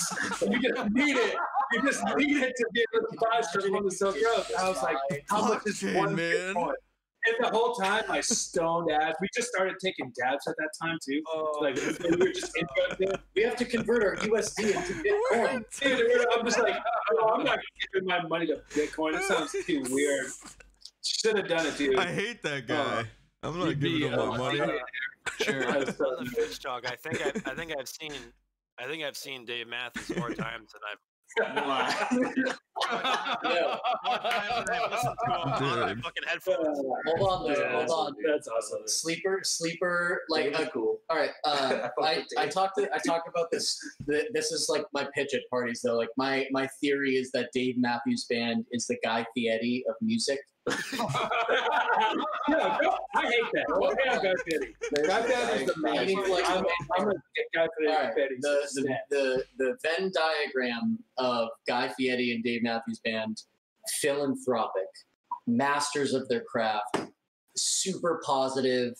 Like no, like if you watch Guy, if you watch Diners, Drive-ins, and Dives, always has something nice to say, even if you know this. Like, yeah, he's just here for you. He's he's buffing your business, and like Right. you know he's taking bites of things he doesn't like, and he's just like, I really love very specifically the texture of the parsley you used here.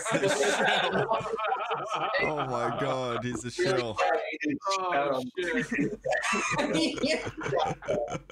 Quality. Hell yeah. and that dude No, in this for restaurants. I'm, Dave Dave I'm. Matthews, absolute supreme musicianship. Absolutely. The songwriting is interesting. The Orchestra behind him as well. He said. He, he brings an orchestra to all of his shows, dude, and they're all nasty. there's no there's nobody in the background being like that guy five that's just like I'm gonna play this chord in the chorus like for a second. Everybody's Right. It's an Here's- orchestra. here's the here's the middle of the Venn diagram. Absolute terrible fans. Just like like the fandom around like the like the like the Guy Fieri thing and and the Dave Matthews thing is abysmal. It's abysmal. I, Um, I actually do have a hot take though because I know Dave Matthews Band has whatever their fucking popular songs are. Dude, I don't even know. Crash into Me probably is number one. Where where are you going is the best fucking Dave Matthews song that has ever been. Great song. That's that's the best song by a mile in my opinion. Like it's not even close. I don't know Which that one- I agree. which one do you Where are you going? Where are you going? Where are you going? We are clipping that. We are clipping that Where and putting you it all over social media. That is incredible. Mine maybe argued it's. I, I really like his cover of Along the Watchtower, which he's done a million times, but Oh, I've had, I watched a YouTube video of that. he's done Along the Watchtower at like ten fucking sh- different shows. Yeah. A couple of them, they are crazy and they chill That's how I felt when Weezer covered fucking "What's the Story" "Morning Glory" by Oasis. Just two, just two worlds that I never saw really coming into coming into contact. Now I want pizza. For Real real. though. what do you guys got for wine? Anything from Mass? Westport? So, Scott, Scott works at like a wine and cheese shop, so we get all this nerdy shit. Yeah, we get stuff. Well, we get really great stuff. Like, Yeah, like- like, like really cheeses and shit. South Coast has got some good wine, like the Cape and fucking Truro, P Town and Westport and They make they make wine down there. Yeah, a this lot is of wineries. Yeah, Shit, Dartmouth. Along, along the South Coast and the Cape, we got good wine. It's the same thing with red kinda- wine. some of that beer. It's kind of a thing that like uh, want good wine. it's shitty to say this. It's just like certain uh, certain geography is just like Yeah, can't make good wine from. Like well, it's, it's the same thing as like Newport, southern, like, like along the, the bottom of Rhode Island and shit. Those, those wineries. It's the same kind of geography. You consider ev- it good wine or not? I don't know. Yeah, everybody's just yeah, everybody's just like really snobby for some reason about northeastern wine for some reason. not me. Not me. I don't know why. if it's wine, he's drinking it. I'm gonna fucking drink it. I finished this last night. I didn't really want to, but I did it. No, we run into it all the time. It's just so weird. Like I don't know. I don't. I, I honestly haven't tried enough to make an opinion. But like it's Yeah. weird. People have like a weird stigma against like wine from northeast uh, USA. That's crazy. Yeah, It's it's because we smell like farts. against I don't know. it? Yeah. Don't yeah Damn. against it. Damn, that's Yeah, because we go to the My- wine festivals and we just get hammered and we just Yeah, we're my, having a my good wine time. standards are pretty fucking low. Yellowtail. There was a I, I played rugby in college, and uh, there was a uh, there like obviously like they like there's a whatever slap the bag. That you guys ever do? You know what this is? The wine bag? bag? Yeah, of course. Yeah. Alright, so, so, so like Franzia had like we did a thing a couple times, more than once for some reason. Um, the box of wine chug, and it was a team of two, and you had to finish the box of wine, but the entire time you were eating buffalo wings. oh, God. How is that possible? Uh, terror. You had to not stop chewing buffalo wings or drink the same. No, you were just, the activity was you're drinking buffalo wings, but the 1st You're person drinking to buffalo. eating buffalo wings, but the first person to finish the the first team to finish the box of wine, whilst participating in the activity of eating the buffalo wings. The winner Sounds like a freaking Sounds blast, dude. Can you just imagine? Imagine the bile that uh, the oh, Puking that up would be. Yeah, don't Before throw we that get up. into the drinking games, we need one more wheel spin, Lee. Back when I didn't drink, I used to go to parties with like a case of like sugar cookies from the supermarket. I would have loved that though. I would have eaten every fucking sugar cookie though. and or like the small milks. Like I just get it's like The little frosting. Oh my god! yeah, just get some milk Um, and I it just landed on the chug. No, it didn't. Well, we're talking. here we go. because uh, me and Barry were talking about how we had the shotgun. So, Barry, But it didn't land on a shotgun. though. I chugged. that chugged is, vodka. that is the chug. Yeah, if this were like a finish your beer type thing, this would be over soon. Oh, it's they're uh, you gotta chug that whole fucking. What do you guys got there? Seven percenters or so? Probably it's zombie dust. Have you guys ever had this? I don't No. think so. Is anybody beer nerds? I drink a lot of IPAs, but I'm not a beer nerd. Eh, So like I- something cool. something something cool about Tor was like like before everything was just widely distributed. Like you would go to a state and be like, yeah, we can get like before Yuengling was out of Pennsylvania, we would like get Yuengling in Pennsylvania, I think or it was like, like a City in Florida or Deschutes yeah. in California, um, and and Zombie Dust was like regaled as the the IPA of the Midwest and it was it's like three Floyds. I think that's Indiana. Um, Yeah. but this was like the this was like the fucking thing. Like I used to have um friends in Chicago. Yeah, product placement. I, I think I used to have I like my friends in Chicago used to like mail me zombie dust, and now I can just get it next door, and it's nothing. Yeah. dope. It's like Wayne's World when he's like, "Oh, you have a headache? Take two of these." Yes. little, little different. All I. I, would, I would say I exclusively drink like pretty much like for beer, Coors Light nowadays. Yeah, I drink Coors Light. you too. get I don't really like beer that When you get old, yeah, when you get old, dude, it's just like I gotta stop My, this. my shit. Light all time. My I've been drinking beers- You guys like sake? Like Saco, like Maine. Sake? Sake. Sake? Saco Maine, yes, that's what No, you're no, saying. no, no, Way, Saco. way I never better, heard way better than the rice bone sake. Sake. Sako it's a, it's a uh, Japanese Sure. rice wine. Yeah, I was gonna say the shit that they squirt in your mouth and Oh. shit. Yeah, yeah, yeah, but it's different. Like that shit they squirt in your mouth is like the cheaper stuff. It's like it, Yeah, it's no, it's just the cheaper. there- There's just different, that gone? Go where there's different levels of it. Dude, honestly, if you ever see some like delicate little bottles of sake at the mall, I mean the mall at the liquor store, I'm walking just like, yo, sake! Are- are you going to the mall getting later? sprayed with Are sake. yeah. you going to the mall later? No, I am not going to the mall later, mister. Keep spelling. Uh, but yeah, you want to drop some Adam Sandler on me? I'm gonna. yeah, yeah. yeah. buddy. Dude, that I love Amazon. Um, Dude. It's yeah, it's like a very cool thing because there's like different regions of Japan that like rice is different, so the flavor of stuff is a little bit different. It's like oysters. You know, you get like different regions of Right, right, oysters. Hundred percent. Yeah. The, I've been super into it, and Oh, I'm not really. the oyster god here. Uh, He wears his job is to peel oysters back Really? over and over again. Where? you're, a shuck- you're a shucker. Scallops. Oh, scallops. Okay. Yeah, You- yeah. Shellfish. Shellfish. Yeah. I Oh, cool. I was I I, was in, I was in the biology field first, and I was aboard uh, commercial vessels, but I've done both that and working deckhand over the last couple of years.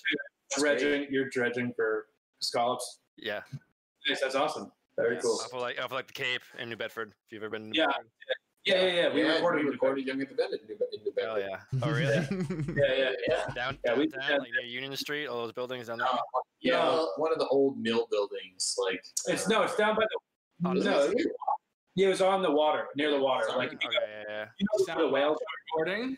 the whale, mo- yeah, the whale. The now murals? defunct soundbox The recording. Oh, that's dope. Oh, You know the, the whale Yeah. murals? oh yeah. It's down by down by there. All, all the graffiti. Yeah. Right Yeah. Right next to Rose Alley. Do you do you ever get the impression that everything we tore that. It's like it's less than a mile, dude. So How close it is to Rose Alley. um, No problemo though. Shout out to burritos. Yeah, shout out. No problem. I, had, Mm. I, I had no props this week. Yeah, we've Yes. played there a couple times. No, Yeah, let's go. yeah, for Yeah. other. It was sick. That's Um, something something that's uh, uh another trivia fact is the the last two records we recorded uh basically the studios fizzled and disappeared after we finished recording in different ways. in different ways yeah um, I, all right so You Kinda guys are like cool. the good luck Chuck, except it ends instead of begins. Yeah. except going it, to except destroy it turns out no so, uh, something cool like i love this fact all three records actually all three records the studios that all three records were recorded in are no longer uh, recording studios Uh, all three That's what. if so, you're a recording okay. studio, stay All right. away. Or That's if tough. maybe if you're trying to. we go. Here we go, those people those people still make records but they know See what later. happened oh goodbye Yeah. Back in. the pop is. Let's go. Um. Okay. Um, no but yeah, what I- I like that yeah. If we all turn our heads, we can do the rest of the podcast. We, We'll, just, we'll keep flipping it. Either way. Are you back in, Lee? All right. Yeah, I'm good. I'm good. Um, no, I love I love this uh, this one factoid just because I love this record. Um, when we did Baby uh, in at J. Jay's Robbins spot. Magpie Cage, uh, it was the the Magpie Cage now exists closer to downtown in in Baltimore, but um, the first studio, the first record that was done in the Magpie Cage we recorded in was "Searching for a Former Clarity" by Against Me. Oh shit. And Baby was the very last record that was done in that studio. That's fucking cool. And I'm gonna I'm gonna be honest with you. I would repeat that all the fucking time. I would tell people that every day of my life. I'd be the weird guy at the bar being like, "Hey, you want to hear a fun fact?" like, um, And that's how no one likes you. you know, that's not why. There's plenty other reasons. Hey, want to hear a fun fact about myself? I want to tell you. that, like Alright. against growing up was Yeah, like such a Against Me growing like uh, especially like Scott and I went to the same high school. That was like against me was such a big band for our com- like our music community. And like this one kid Steven Sabatinelli in particular like that really was just like was like one of those kids that had like a studded leather jacket that he like screen printed an against me patch on and like just like lived by the the fucking like ethics like ha- was like a Yeah. card carrying like punk you know what i mean? And Oh yeah, of he would, he would come hang out at my house and like my dad's like a very like uh he's just an, an italian american. Like he he is just uh in the flesh joe pesci like just a fucking five nine italian guy. And he, my, Sabat would just come and hang out in his like mohawk and leather jacket and uh, like show my dad against me records. And searching for a former clarity was one of those that was like, like it wasn't cool because it wasn't punk against me. And maybe this is like their time in their their timeline. shout out to What- that What record was uh, Thrash Unreal? Way later. oh, that was Yeah, good, yeah that Way was like later, yeah. TRL But days. which one- but which one was it? I can't think of the Thrash name. Unreal, is that new wave It was the Or one that that I was yeah. the one Or is it- Panther on it or whatever. That was the that was the first Against Me song I ever heard, and I was fucking floored. or thrash is it white it might even be white crosses that's a long Maybe. timeline. But dude, like they got a lot of albums against me, against a me, lot like of fucking shit. against me had life before the record I got into, and even that is way after that. yeah against me must be a band for like almost 20 years now which Long is time, man. Yeah. yeah i saw them open for jimmy Eat world and green day at gillette Stadium. Hell yeah. Uh, speaking of which, just because I've been listening to it the last two or three days, shut up, Bleed American, because that fucking album is great yeah it's so good, dude. It's so I thought it was good. Bleed America the whole time. Seriously. That's hilarious. How's it feel being dumb? There there was like an issue with it where it came out around 9-11 so they couldn't And they changed the name to Jimmy Eat World. I World, yeah I just recently found out about that like a- like a year ago or something. Yeah. Would you Awesome. guys rather have trivia or lyrics to start it out? Trivia. Trivia. We're fucking Oh, terrible. everybody, everybody's there with it. What is You couldn't Meatloaf's real name? What? Meatloaf's real name. Meatloaf? Yeah, what is Meatloaf's real name? Oh shit, dude. I don't know. You can ask my mom and I she don't would know. care. Dude, what the hell? I'm, I'm 34 and you're like you're like going way beyond Alright. me. All right, fair enough. Uh, his name is his name is Michael Lee Aday. Good for him. Uh, Which band served? Which band served as the house band at Andy Warhol's New York City studio? Velvet Underground? Oh, he fucking right? nailed it, bro! Holy Oh, shit, that was that was miraculous. Hold on, we're gonna was drink to it? that. Who. That was it? fucking- it was the Velvet Underground. That was fucking crazy. How'd you get that? Okay. I mean, they, they were really married. Yo, that banana cover, man. Yeah. That, ba- that banana cover to me always says Andy Warhol and Velvet Underground. Yeah. So You it's- need All right, cover? fair enough. yeah, it's a Uh, banana. In We're honor gonna switch of over to Andy lyrics. Warhol. Negative. In honor. hey, That's a hey, you have a long middle finger. That's a Yeah, huge fuck you. this one? That's a huge fuck you. like, like mine's kind of aggressive. That's, finger. that's right. You got- Yeah, but, but Lee's Lee's gonna be like that one. Oh, you. Uh, Ah! hey, will you stay a while? My smile will not mislead you. Because I've been alone, my faith turned to stone. I know it is. What is it? It's uh, Motorcycle Drive By by Third Eye Blind. Nope. You're, you're No. the right band now. Oh, let's not Please, sir. mislead you. I know, I, I can sing it, yeah. Is it um, God of Wine? Thanks a lot? nope. All great I songs. know, though. it's- I know it's Third Eye Blind. I know it's Third I Eye Blind. oh, I want you. Nope. You you. all have to drink. These are five, six guesses too deep. It That's is all right. good for you. Good for you. Mm. Can I take a piss? Is it good for you? No. That, That's so for amazing, dude. Third, Third Eye Blind self-titled for me is one song beginning to end because I could just Oh. listen to that Yeah. and just be like, "What song is that?" I'm like, dude, it's like Dude. I don't know, one song to me. I just listen to it. Besides, Semi Charmed and Jump. Yeah, Every Time Thank and you Jumper. saying that, yeah, though. Slow We're the the best club. song. That I like the no song. slow motion's blue. Slow motion blue, yeah. But the the debut of I that mean, album, just I, I very legitimately come through the track listing of the debut album, and I reach a point. I think it's about London, where I'm like, okay, I've already heard five or six of some of the best alt rock I'll ever hear, and there's still seven songs to go. I'm not sure my heart can handle this. Yeah. And then I reach God of Wine and Motorcycle Drive By, and I just break apart into particles. There's no, there's just, it's just so good. There's nothing that sounds like it. But it That's what I also- love about it. Yo, let's listen to it on the ride home. Yeah, There yeah. it is. Oh, we triggered it. There we I'm go. ready to push play. I'll you know, lay, lay, in bed. yeah, we're FaceTime. Yeah, we're FaceTiming John. No, honestly though, like that, like something that's cool about that record is like it actually does have some pretty good sequencing. Um, we're all nerds for like album construct. Like we talk about, we talk like we get deep and critical of one another when uh, somebody presents a a record that's like this is a you know this is a really important album, and we'll we'll be critical of one another and be like, yeah, but you know like. I don't know. I feel like the B side was a bit heavy and like they like it wasn't it wasn't like it didn't have a good story arc and we get we get very into describing like the um I actually like that you're saying this though, because uh, although it may not be in the same genre we're discussing, I, I constantly quote J. Cole on this one. He said, "We spend we spend about 12 months deciphering what the album sequence will be for people to not give a flying fuck."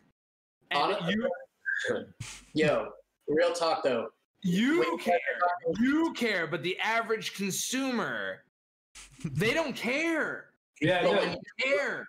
But here's like we were talking earlier like about like what your interpretation of records are like like what how you would describe a record to somebody who's never heard it or like never heard Right. the band Right. like I like that's why I don't think any of us talk about like the intention. Yeah, like or like like if we are talking about uh Young at the Bend, like like we would never really like just like dir- like intrude upon your vision by our interpretation of what what we were doing.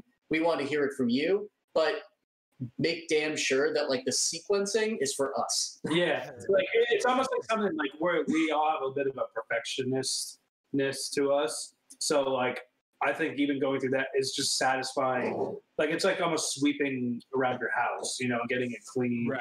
and everything. It's almost like we have to do it to feel comfortable releasing something. That, Because- no, that, no, that makes might perfect sense. It might not matter to you, but maybe there's that one percent person that But cares. that's but that's what I mean when I say the And average consumer. Yeah. Because I will I will yell at people about album sequencing. Like I will I will get in their face and I will fucking scream at them because it matters. yeah, but the average consumer doesn't care how the album plays. Like it doesn't care what order they're finding that one song that they love and they Right. put it on a playlist and they fucking repeat it over and over again. Yeah, That's we're- just the average consumer ideal. we have that one percent, and not verbal. Like we've never been like talked that out, but I feel like we have that that one percent person in mind when we're kind of Yeah, why not appeal to those? Yeah, There exactly. was a big, there was a, Why there was a cool little out? signed hand that just came in there. Ashley just, Ashley just It grabbed the, the the swipe for no yeah, swipe. the wine swipe. God of Swipe for wine, no dude. swiping. Uh, there we go. Yeah.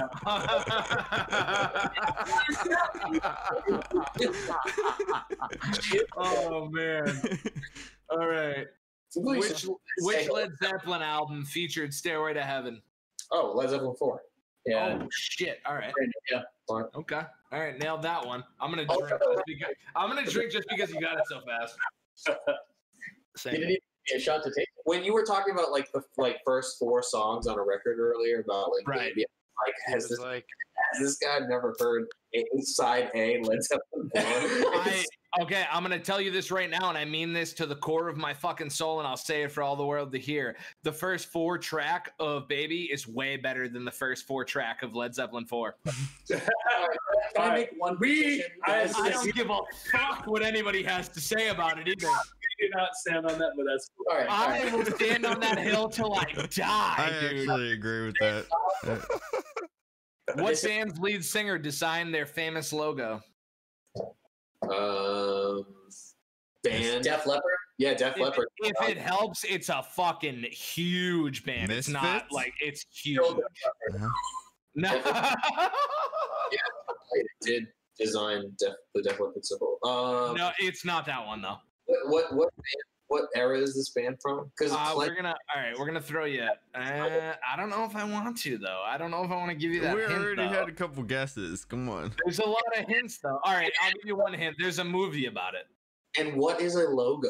You know, like There's a movie about it? Nirvana has that like smiley There's a movie about it. There's a movie about the logo. No, about the band. like a but like a big Hollywood production movie, not like a documentary. Does it have Tom Cruise in it? I wish. What'd you say? Have much of a Queen? logo. It's Yeah, like Queen. It is Queen. It is Queen. Nailed it again. All right. Cool. Times Yeah. Roman.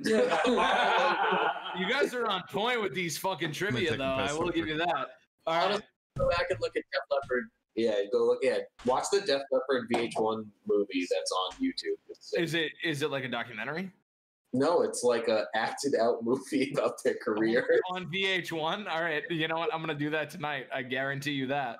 I can't- I can't- awesome. I can't let go this this uh this four track this first four songs on a record. Oh, baby, baby over Led Zeppelin four all day. Hold on, there So let's, there. let's talk some. I other would say. I would say like a strong number two right beneath Led Zeppelin four, and this is a hot take, and I don't feel like it. I will uh, allocate you in representation, either of you. Joshua Tree, you two. Oh. Nope. Nope. nope. It is. Not a fucking chance. Whoa, I, I appreciate your opinion, but I disagree greatly.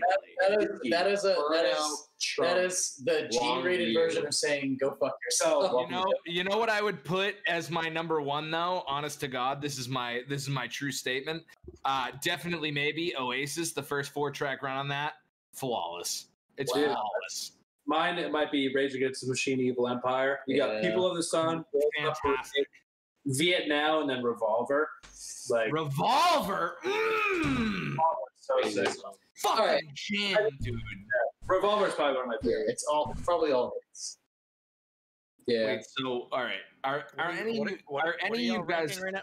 Where I was right so we were discussing the four track run again, and I said Your- that your- your probably favorite my first four tracks off an album. right. So I said that my first my first place would go to definitely maybe from Oasis. Mine's Rage Against the Machine, Evil Empire. Uh, I mean, if we're gonna really like, if we're gonna really split hairs and hairs in terms of impact. The Wine. Uh, It's tough. It's just tough. You're gonna tell me right now that you don't listen to Rock and Roll Star, Shaker Maker, Live Forever, and Up in the Sky as if it's just like raining down on you the rock and roll. I like. Uh, the- all right, all right. Here's here's a here's a hot take from left field. I love it. The things we carry by Have Heart. I don't even know what that is. oh, Have Heart. Never heard I don't even know what that is. All right. Hey, There's your, no home, Bedford. Your homework is listen to Wow. Have Heart songs to scream at. I'm gonna write this down right now. Okay.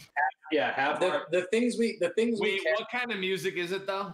Hardcore. It's it's, It's- it is a it's- it is a it's- die in the wool. Yeah, hardcore it band. is All right. Boston hardcore. Yes. All right. So favorite bands ever from hit. Massachusetts. Period. Favorite bands ever from Massachusetts ever. Aerosmith for sure. Okay. Heart. Have Heart will come second. Yeah. Probably. We were just talking about Have Heart. We were Yeah, just it- talking about Massachusetts band like three hours ago with my brother. Uh, All right. And I, and I brought it up, and he recognized it. But I'm not. It, it's not it's not thrice, right? What's the what dude, what's the band I always forget? Fuck. There's a band there's from- band from Boston that I fucking love and I always forget. Ours. my favorite Boston band's probably Cave In. Cave in. Yeah. It's a good No, one. no. Well, no, that's not the one I'm thinking of. do you, do you love Dropkick Murphys or J. Geils? Oh, I could fuck with some Dropkick Murphys and uh, Slaps. Did I go in you with Guitar Center and we saw J. Geils? I, I, walked, story. I walked into Guitar Center in Boston before it moved to. It was on uh, Common Com Ave, and I walked in. Jay, J. Geils was doing like a workshop, and there's a bunch of What people. the fuck? Yeah, that's fucking crazy. I thought it was fun. That's tight. Honestly, um, I, I still maintain that like recordings in the in Massachusetts, like one of my favorites. Guster, Boston. They're Yeah, on the band. Guster. Never heard of them. I Maybe- Saw, Gus- I saw Guster in Western Mass at Northampton. Nice. Oh hell yeah! Uh, but honestly, God and Country, that EP, Yeah, Yeah. they're like a local-ish it's a different it's a Very good. different thing. Um, I waited six, six. I waited in line for six hours to meet Joe Perry from Aerosmith. Nice. Let's go. I love that though. Worth Fun it. fact. Uh, so j- Steven Tyler's kid played football at fucking uh, what's the Quincy Catholic school? Um, fuck, what's it called? Uh, it's whatever whatever Catholic high school is in Quincy. And Uh, my mom would go to the games and pretend that her child was on the football team so she could talk to Steven Tyler You? and it, it only worked maybe once and uh, she still brags about this moment to this day even though steven tyler was almost definitely like get the fuck away from me my I don't child is playing football Weird guy that would be like down to talk to anybody because he's just like so eccentric. yeah. he was, he was very much the opposite from my mom's standpoint anyways he's a very loud and arrogant Yeah, ignorant you don't Boston know. You don't know. his. He's the same. the thing. His daughter came to my house when uh, on Fountain Street to a party. Oh, really? Mia Tyler, the What? Mia actress Tyler, or Liv Tyler. Not Liv Tyler, Mia Tyler. Mia Tyler. Yeah, Oh, she's like a punk rock kind of girl. Like as much which as one uh, which one is the actress liv tyler I think Liv she's a, this the one's a model. I think. And then But Mia Tyler. She was like dating someone like of one of my friends. I'm such a big fan. I know their kids' names. Yeah. So Me, me, me, Mia's if you want to make this a four-hour affair, we can start talking about it. oh, we're here all night. We're we'll be here all night. Don't you worry about it. And honestly, I just feel for whichever one of you has to cut So talking about Aerosmith to me sucks because like it, you're like leaning up. It just becomes it becomes my personal mission to like convert you. Like it's not. It's nine times out of ten, it's not possible. It's never gonna happen.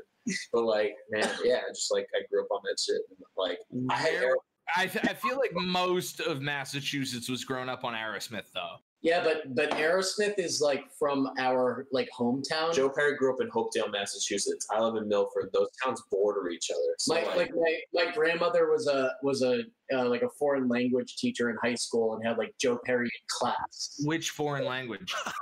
She, spoke- she Portuguese? fluently spoke Portuguese, Italian, French, Shocker. Spanish, and Oh my god. Okay, all right, never mind. I heard Portuguese and just assumed that was the brunt of it all, and I was so wrong. No weirdly like, weirdly like my grandmother was like of like five children or something like that. The only one that was like eligible to go to college. Like your grades are good enough, we'll spend money on you. And she went to Boston College and Wellesley College like in the 30s, like just Oh my good, god. like brilliant woman Right. and and taught Joe Perry Italian, I think. That's fucking crazy, dude. I gotta have a point about Aerosmith is that my favorite movie is Dazed and Confused, and there's no this- the, the whole movie has no plot. There's nothing to really take from it besides the the star of the football team is more worried about getting Aerosmith tickets in the end. Yeah, yeah. Randall Pink Floyd. Randall Pink Floyd. He's more worried about the tickets than he is his whole career. Aerosmith. like, yeah. This is, this is like an embarrassing thing, but I, I recently read um, Matthew McConaughey's book. How I many- feel I feel no shame for you on that one because I would read that all day, dude. No, but these guys, these guys would drag me through broken glass over that stuff. you just always sound better. But, but, it, but there was a lot of talk on Dazed and Confused, and I thought that was a, a fun thing. I'm just saying, yo, top favorite favorite rom com probably How to Lose a Guy in Ten in Ten Days. And that's- Ooh, Yeah. that's a solid one though. I gotta. I mean, if I'm being honest, my favorite rom com is still probably The Switch Up because I love Jason Bateman. But when it comes down to it, I can agree with you on that one. Yeah, How to Lose a Guy in Ten Days. Good one. Good flick. Uh, what, forget what, Sarah Marshall's mine for rom. what band's co-founder died in a motorcycle accident in 1971? What, All Allman Brothers? brothers. Wow, Jesus Yeah. fuck! what was it? Yeah. Next question. Brothers band. I thought fucking. Dude, s- did you ask your so- dad? I already, I have a What are some trivia questions? No, these are actually the things that I just uh, have uh, picked up over the time. What Okay. band's original name was Roundabout? Speaking And of no, bands it's not yes. songs, Turn around. Side, side note: Heart Heart of the Sunrise by Yes is top ten favorite songs. Great song. Great song. I don't know who was And it's about. ten minutes long, and I love long songs. I don't care. Dude, dude. I- I'm like on the fence with long songs. Uh, Ron- John, Round- John's the guy that'll be like sending you a, a Spotify link and be like, listen to the whole thing. You open it up and it's literally like like Literally, like one 15 time, it was like minutes Eric- long. You open it up and I immediately close it. I open it. Dude, dude, you, I have to like clock in to like how to get to listen to this fucking song, dude. I'm not. Check check out Electric Are Octopus. like are you saying that word? Could have been I'm not round- worth it. Just be like, band that could have been roundabout. Uh, Rush maybe. Deep What? Purple. Deep Purple. Deep Purple. Um, I wouldn't have guessed. Now you guys have to drink because I Yeah. have taken all of these hits. What was the When answer? you guys are What was the winning. question? It's Deep Purple. What band's original name was Roundabout? My Deep Purple uh, knowledge is limited. Just smoke on the water. all right. Long, long songs. Pink Floyd had Atom Heart Mother, which was like 23 fucking minutes long studio Yeah. version in like 1967 or 8. I was Ahead of the curve. Yeah. Money's long song, right? Money No. was eight or nine minutes. Yeah, it has like nine minutes because the intro is. He said it's, that's not yeah, long. it's eight only or eight or nine nine minutes. minutes. dude. Yeah, it's like, I actually There's several Pink Floyd songs longer than. I'm not anti long song as long as it's good, but get to the fucking point is what I'm saying. Oh, okay. Something I can feel, I can these feel six there's minute some, song, there's some long, like, contention there though between Seven Scott. If it's minutes. long just to be long, then fuck it. Hold on one second. What about The Decline by Noah? Yeah, I was just gonna say that.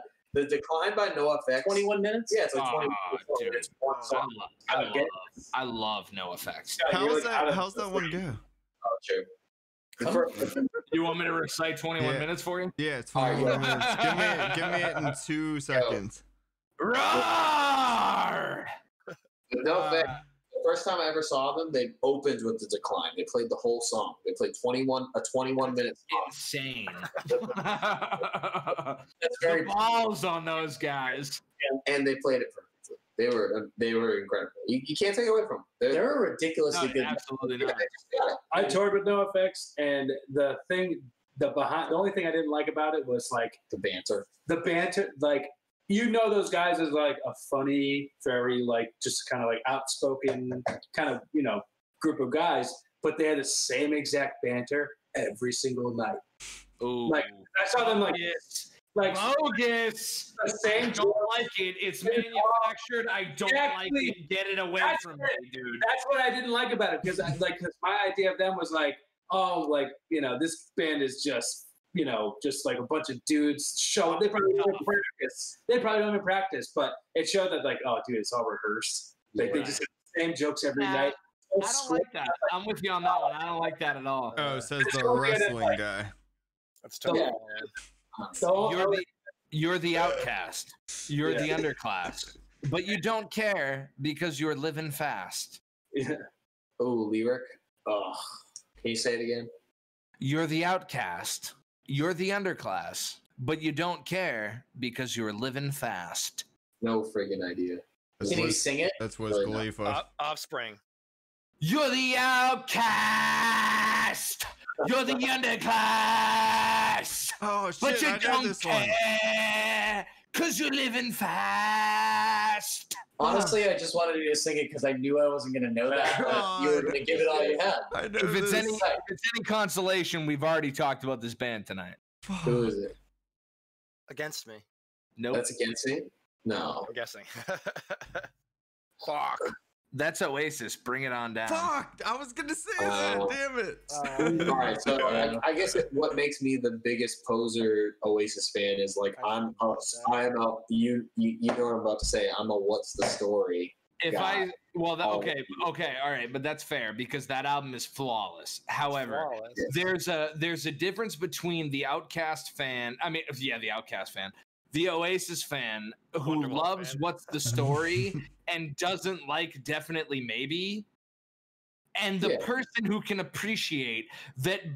I- I mean, without a doubt, in my mind at least, definitely maybe is the most rockin' album that they have ever made. I don't know I the album love that names. I know the songs. Great but I don't album know the cover album too. names. Oh, a phenomenal album cover. Is that wait? Is that the one where Liam's laying down on the floor, or is that uh No, um, I'm thinking of the pool one. The one with the pool and the bike? Yeah. Okay. Yeah, Uh, the And that- one what what? Uh, it's the second album where Liam's laying on the floor, Noel's playing guitar, staring out the window. I can't think of it. Well, whatever. What, whenever They- I play like bars, I play I'll, I'll play like Live Forever acoustic and like Is but it's people it's. I mean, it's just so good. How can you not? it's a good one. we've covered Oasis a few times. Yeah, we- dude, yo, I would like to hear that. If I'm being like, if you guys can send me some MP3s Seriously. of those, that'll It be. Media fire.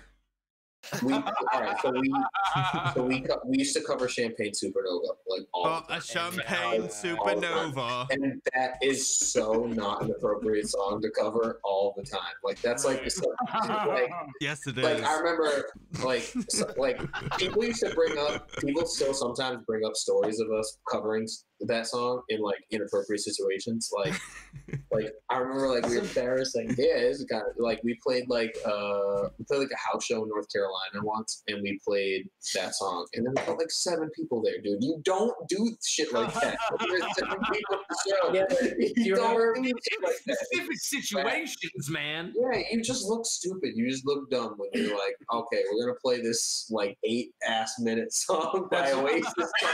Champagne Eight ass Supernova. Yeah, like and like not play your own song that you wrote. Like you're on like some DIY tour. Don't That's cover hilarious. Champagne Supernova. It's not. It's not. A, You always get those people in I would front. love that though. I always get those people in the front that like are too young to even know who Oasis is, and they're just like this. yeah. Yeah, oh, okay, but those people can, and I will be quoted on this. Go fuck themselves. Hey, you, I you can't hate people for being now. ignorant. You can't No, hate you people for being be ignorant. young. You can For be sure. young, but don't be ignorant. No, you can be. That's what being young is. Honestly, though, like there, there's got to be there's got to be a trajectory where most younger kids are not getting exposed to Oasis organically from their parents. They're just hearing Wonderwall. That's really Maybe. Maybe. They they'll hear it at some point That's because enough. some douchebag at a party That's will enough. bring out an acoustic guitar One- and start playing Wonderwall for all of the gonna women. be the day that you listen to Wonderwall.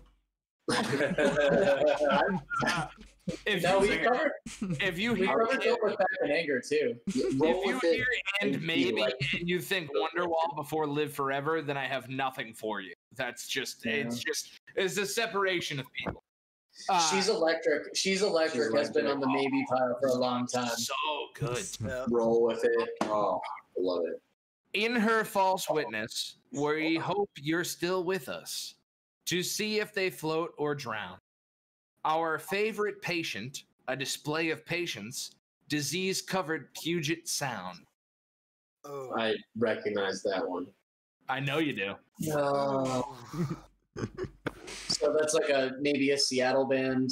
Oh, you have no idea how close you actually are. I mean, Puget Sound is Seattle or Right. Washington. Is it rather. Death Cab? That's a Death Cab song? it's not Death Cab. It's not. I got the Death Cab lyrics right here. the domicile. He's down. Back when I was playing with Hotelier, we used to cover a title track by Death Cab at shows once in a while. Oh, Ooh. I thought we'd be That's all something we gotta search for as well, I suppose. right. Nah, there's Uh, a zero. Does anybody have any guesses on that one, or are Oh, we moving on? no. Can you Does say it sound- Is it Lonely Forest? Is Do it? the- Uh, do the do the singing thing you do. No, not doing it on this one. I can't do it on this one, dude. I'm sorry. There's just no way. That is Nirvana. Frances Farmer will have her revenge on Seattle. Yeah. Oh, you could have totally did that. That's easy. Absolutely. I am not Kurt. I am not Kurt. You could have gave like the what dead fuck? voice So at that's least. on. That's on In Utero. Yeah, that's on Yeah, a that's, that's in utero. Come. Yo, Uh, pretty pretty obsessed with In Utero before. That that album's their best That- album. I don't give a fuck what anybody Yeah, says. Scentless Apprentice is, uh, Oh, I think, maybe their best song. Milk it. one of the uh, okay, Scentless Apprentice is probably top top three, top two, and it's not two. That Listen- one's that one's right there. Listen to Milk It by. Um, I think Milk It's the song on uh, In Utero, and then listen to Young. Yeah, no, no, I know that that song's phenomenal.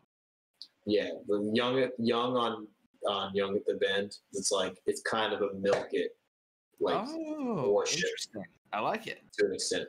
You know what's All funny? You start quizzing us on baby lyrics or Young at the Bend lyrics, and we probably still wouldn't get it. Yeah, exactly. It was only- On that, I can't do it because I always do that. I always throw it. Fuck. All right, Yeah. you're cold like a stone. Yeah. Amy Winehouse. God damn it. Now I can't do. That's my whole gimmick.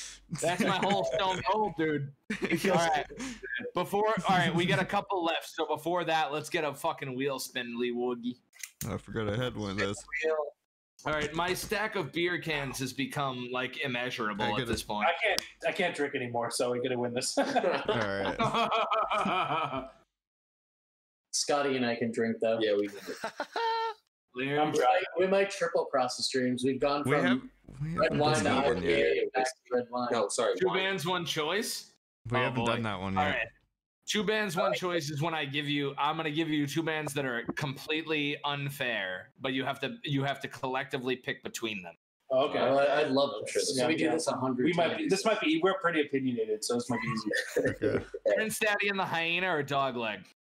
Oh, that's Dude, not. that's That's not rude. rude. That's rude. messed up. get- yeah, see, see, we're all opinionated. This could last forever, oh. and then they're all How do so no, no, right how rude it is. What is your best way to slice up the So- United Nations? Yeah. Just- no? So Oh no, I know, I know, I know why it's unfair.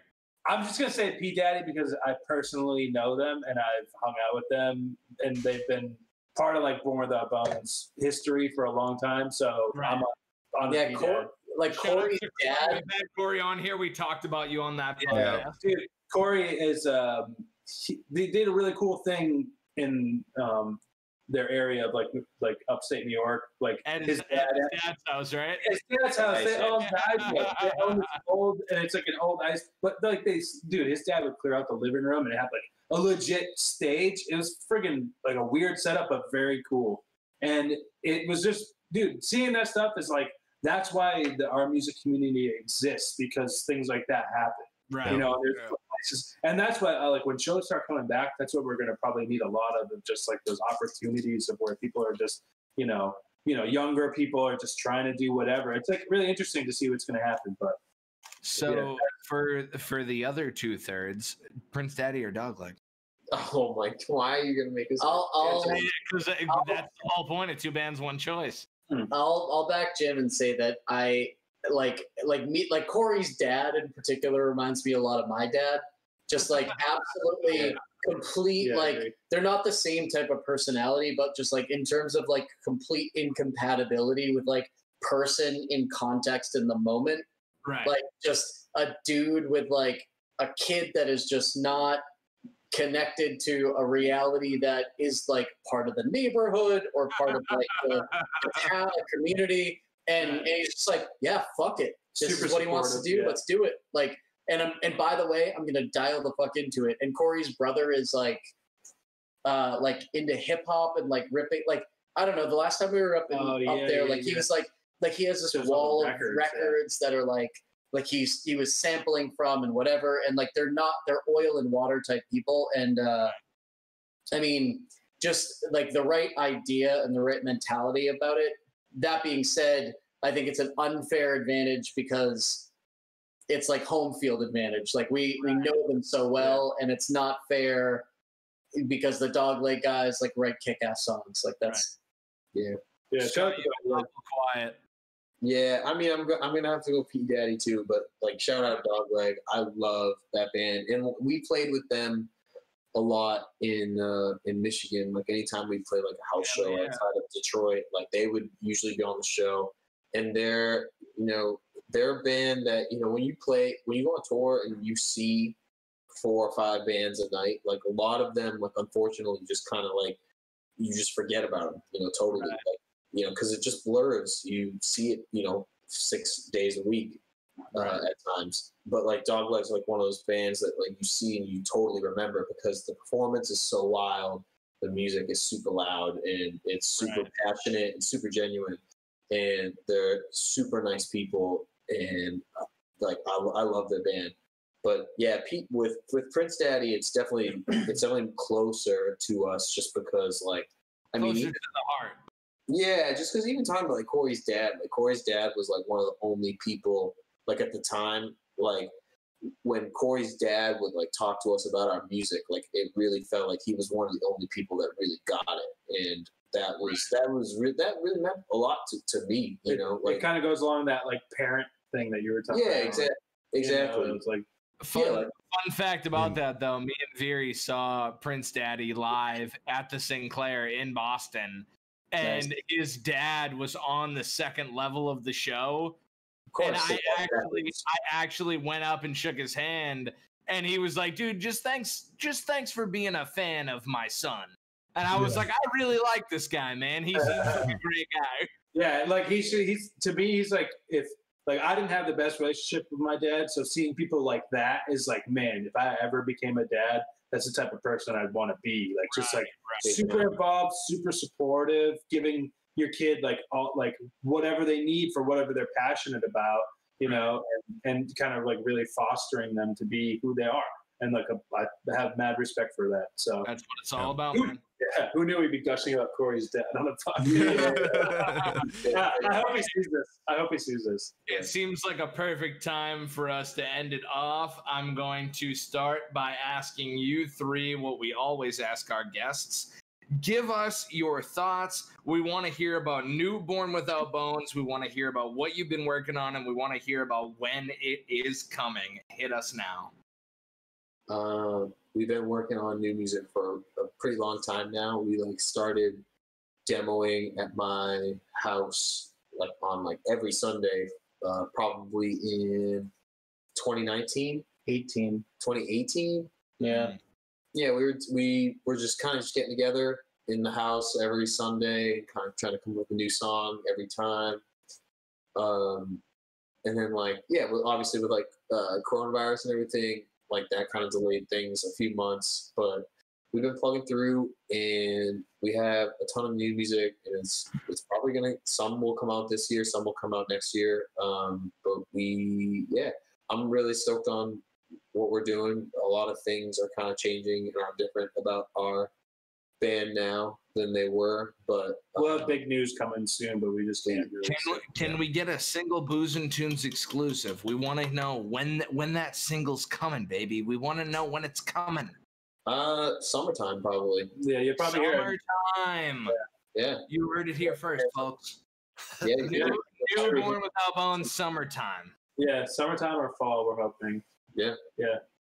Oh, fuck yeah, thank you. Well, What direction are you guys going? That's what direction, like from where you are now with, well, from your last album in 2017.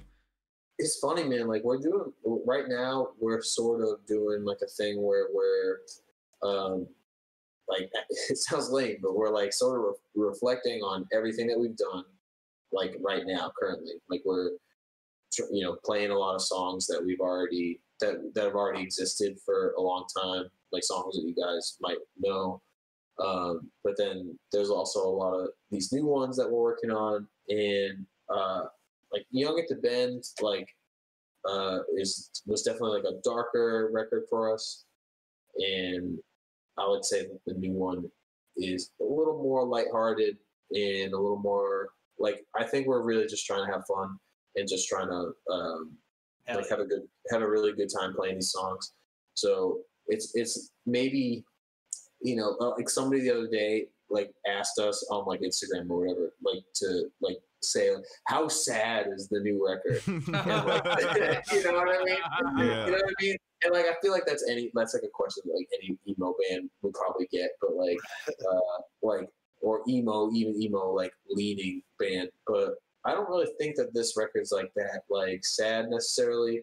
I just think it's it's it I think it's a perfect chapter for like if you've been following the band since since Say Hello it's like I think it's I think you're going to be pretty stoked on what like chapter four is, and I think it's also a little more lighthearted than things have been uh, in a while, but like in a in a good way. I think I, I'm I'm pretty stoked on how if you're not sad, don't write sad music.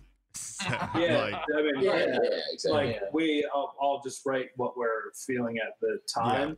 So it's like really like comes from, man. we're we're all in such a different place in our life than where we were when we wrote Baby or Young at the Bend, you know, and like it's completely different now. So it's like really we just it takes us a long time to put out records, but it's because we're trying to take our time and really like express ourselves naturally than just force out some shit. You know? Yeah. Yep. Right, of course. So So to finish this one off, as we always do, we want to say thank you guys for joining us because we Thank really, Yeah, really, lot, really appreciate it. And for the final Thank you, guys. and most important still frame, can we get a fuck SeaWorld? A fuck SeaWorld. Fuck We do SeaWorld. not appreciate SeaWorld? their unethical treatment of animals and will not deal with it any longer. Yeah. Thank you so much, guys, and we Yeah. love you. Uh, until next time, my friends. Free the whales.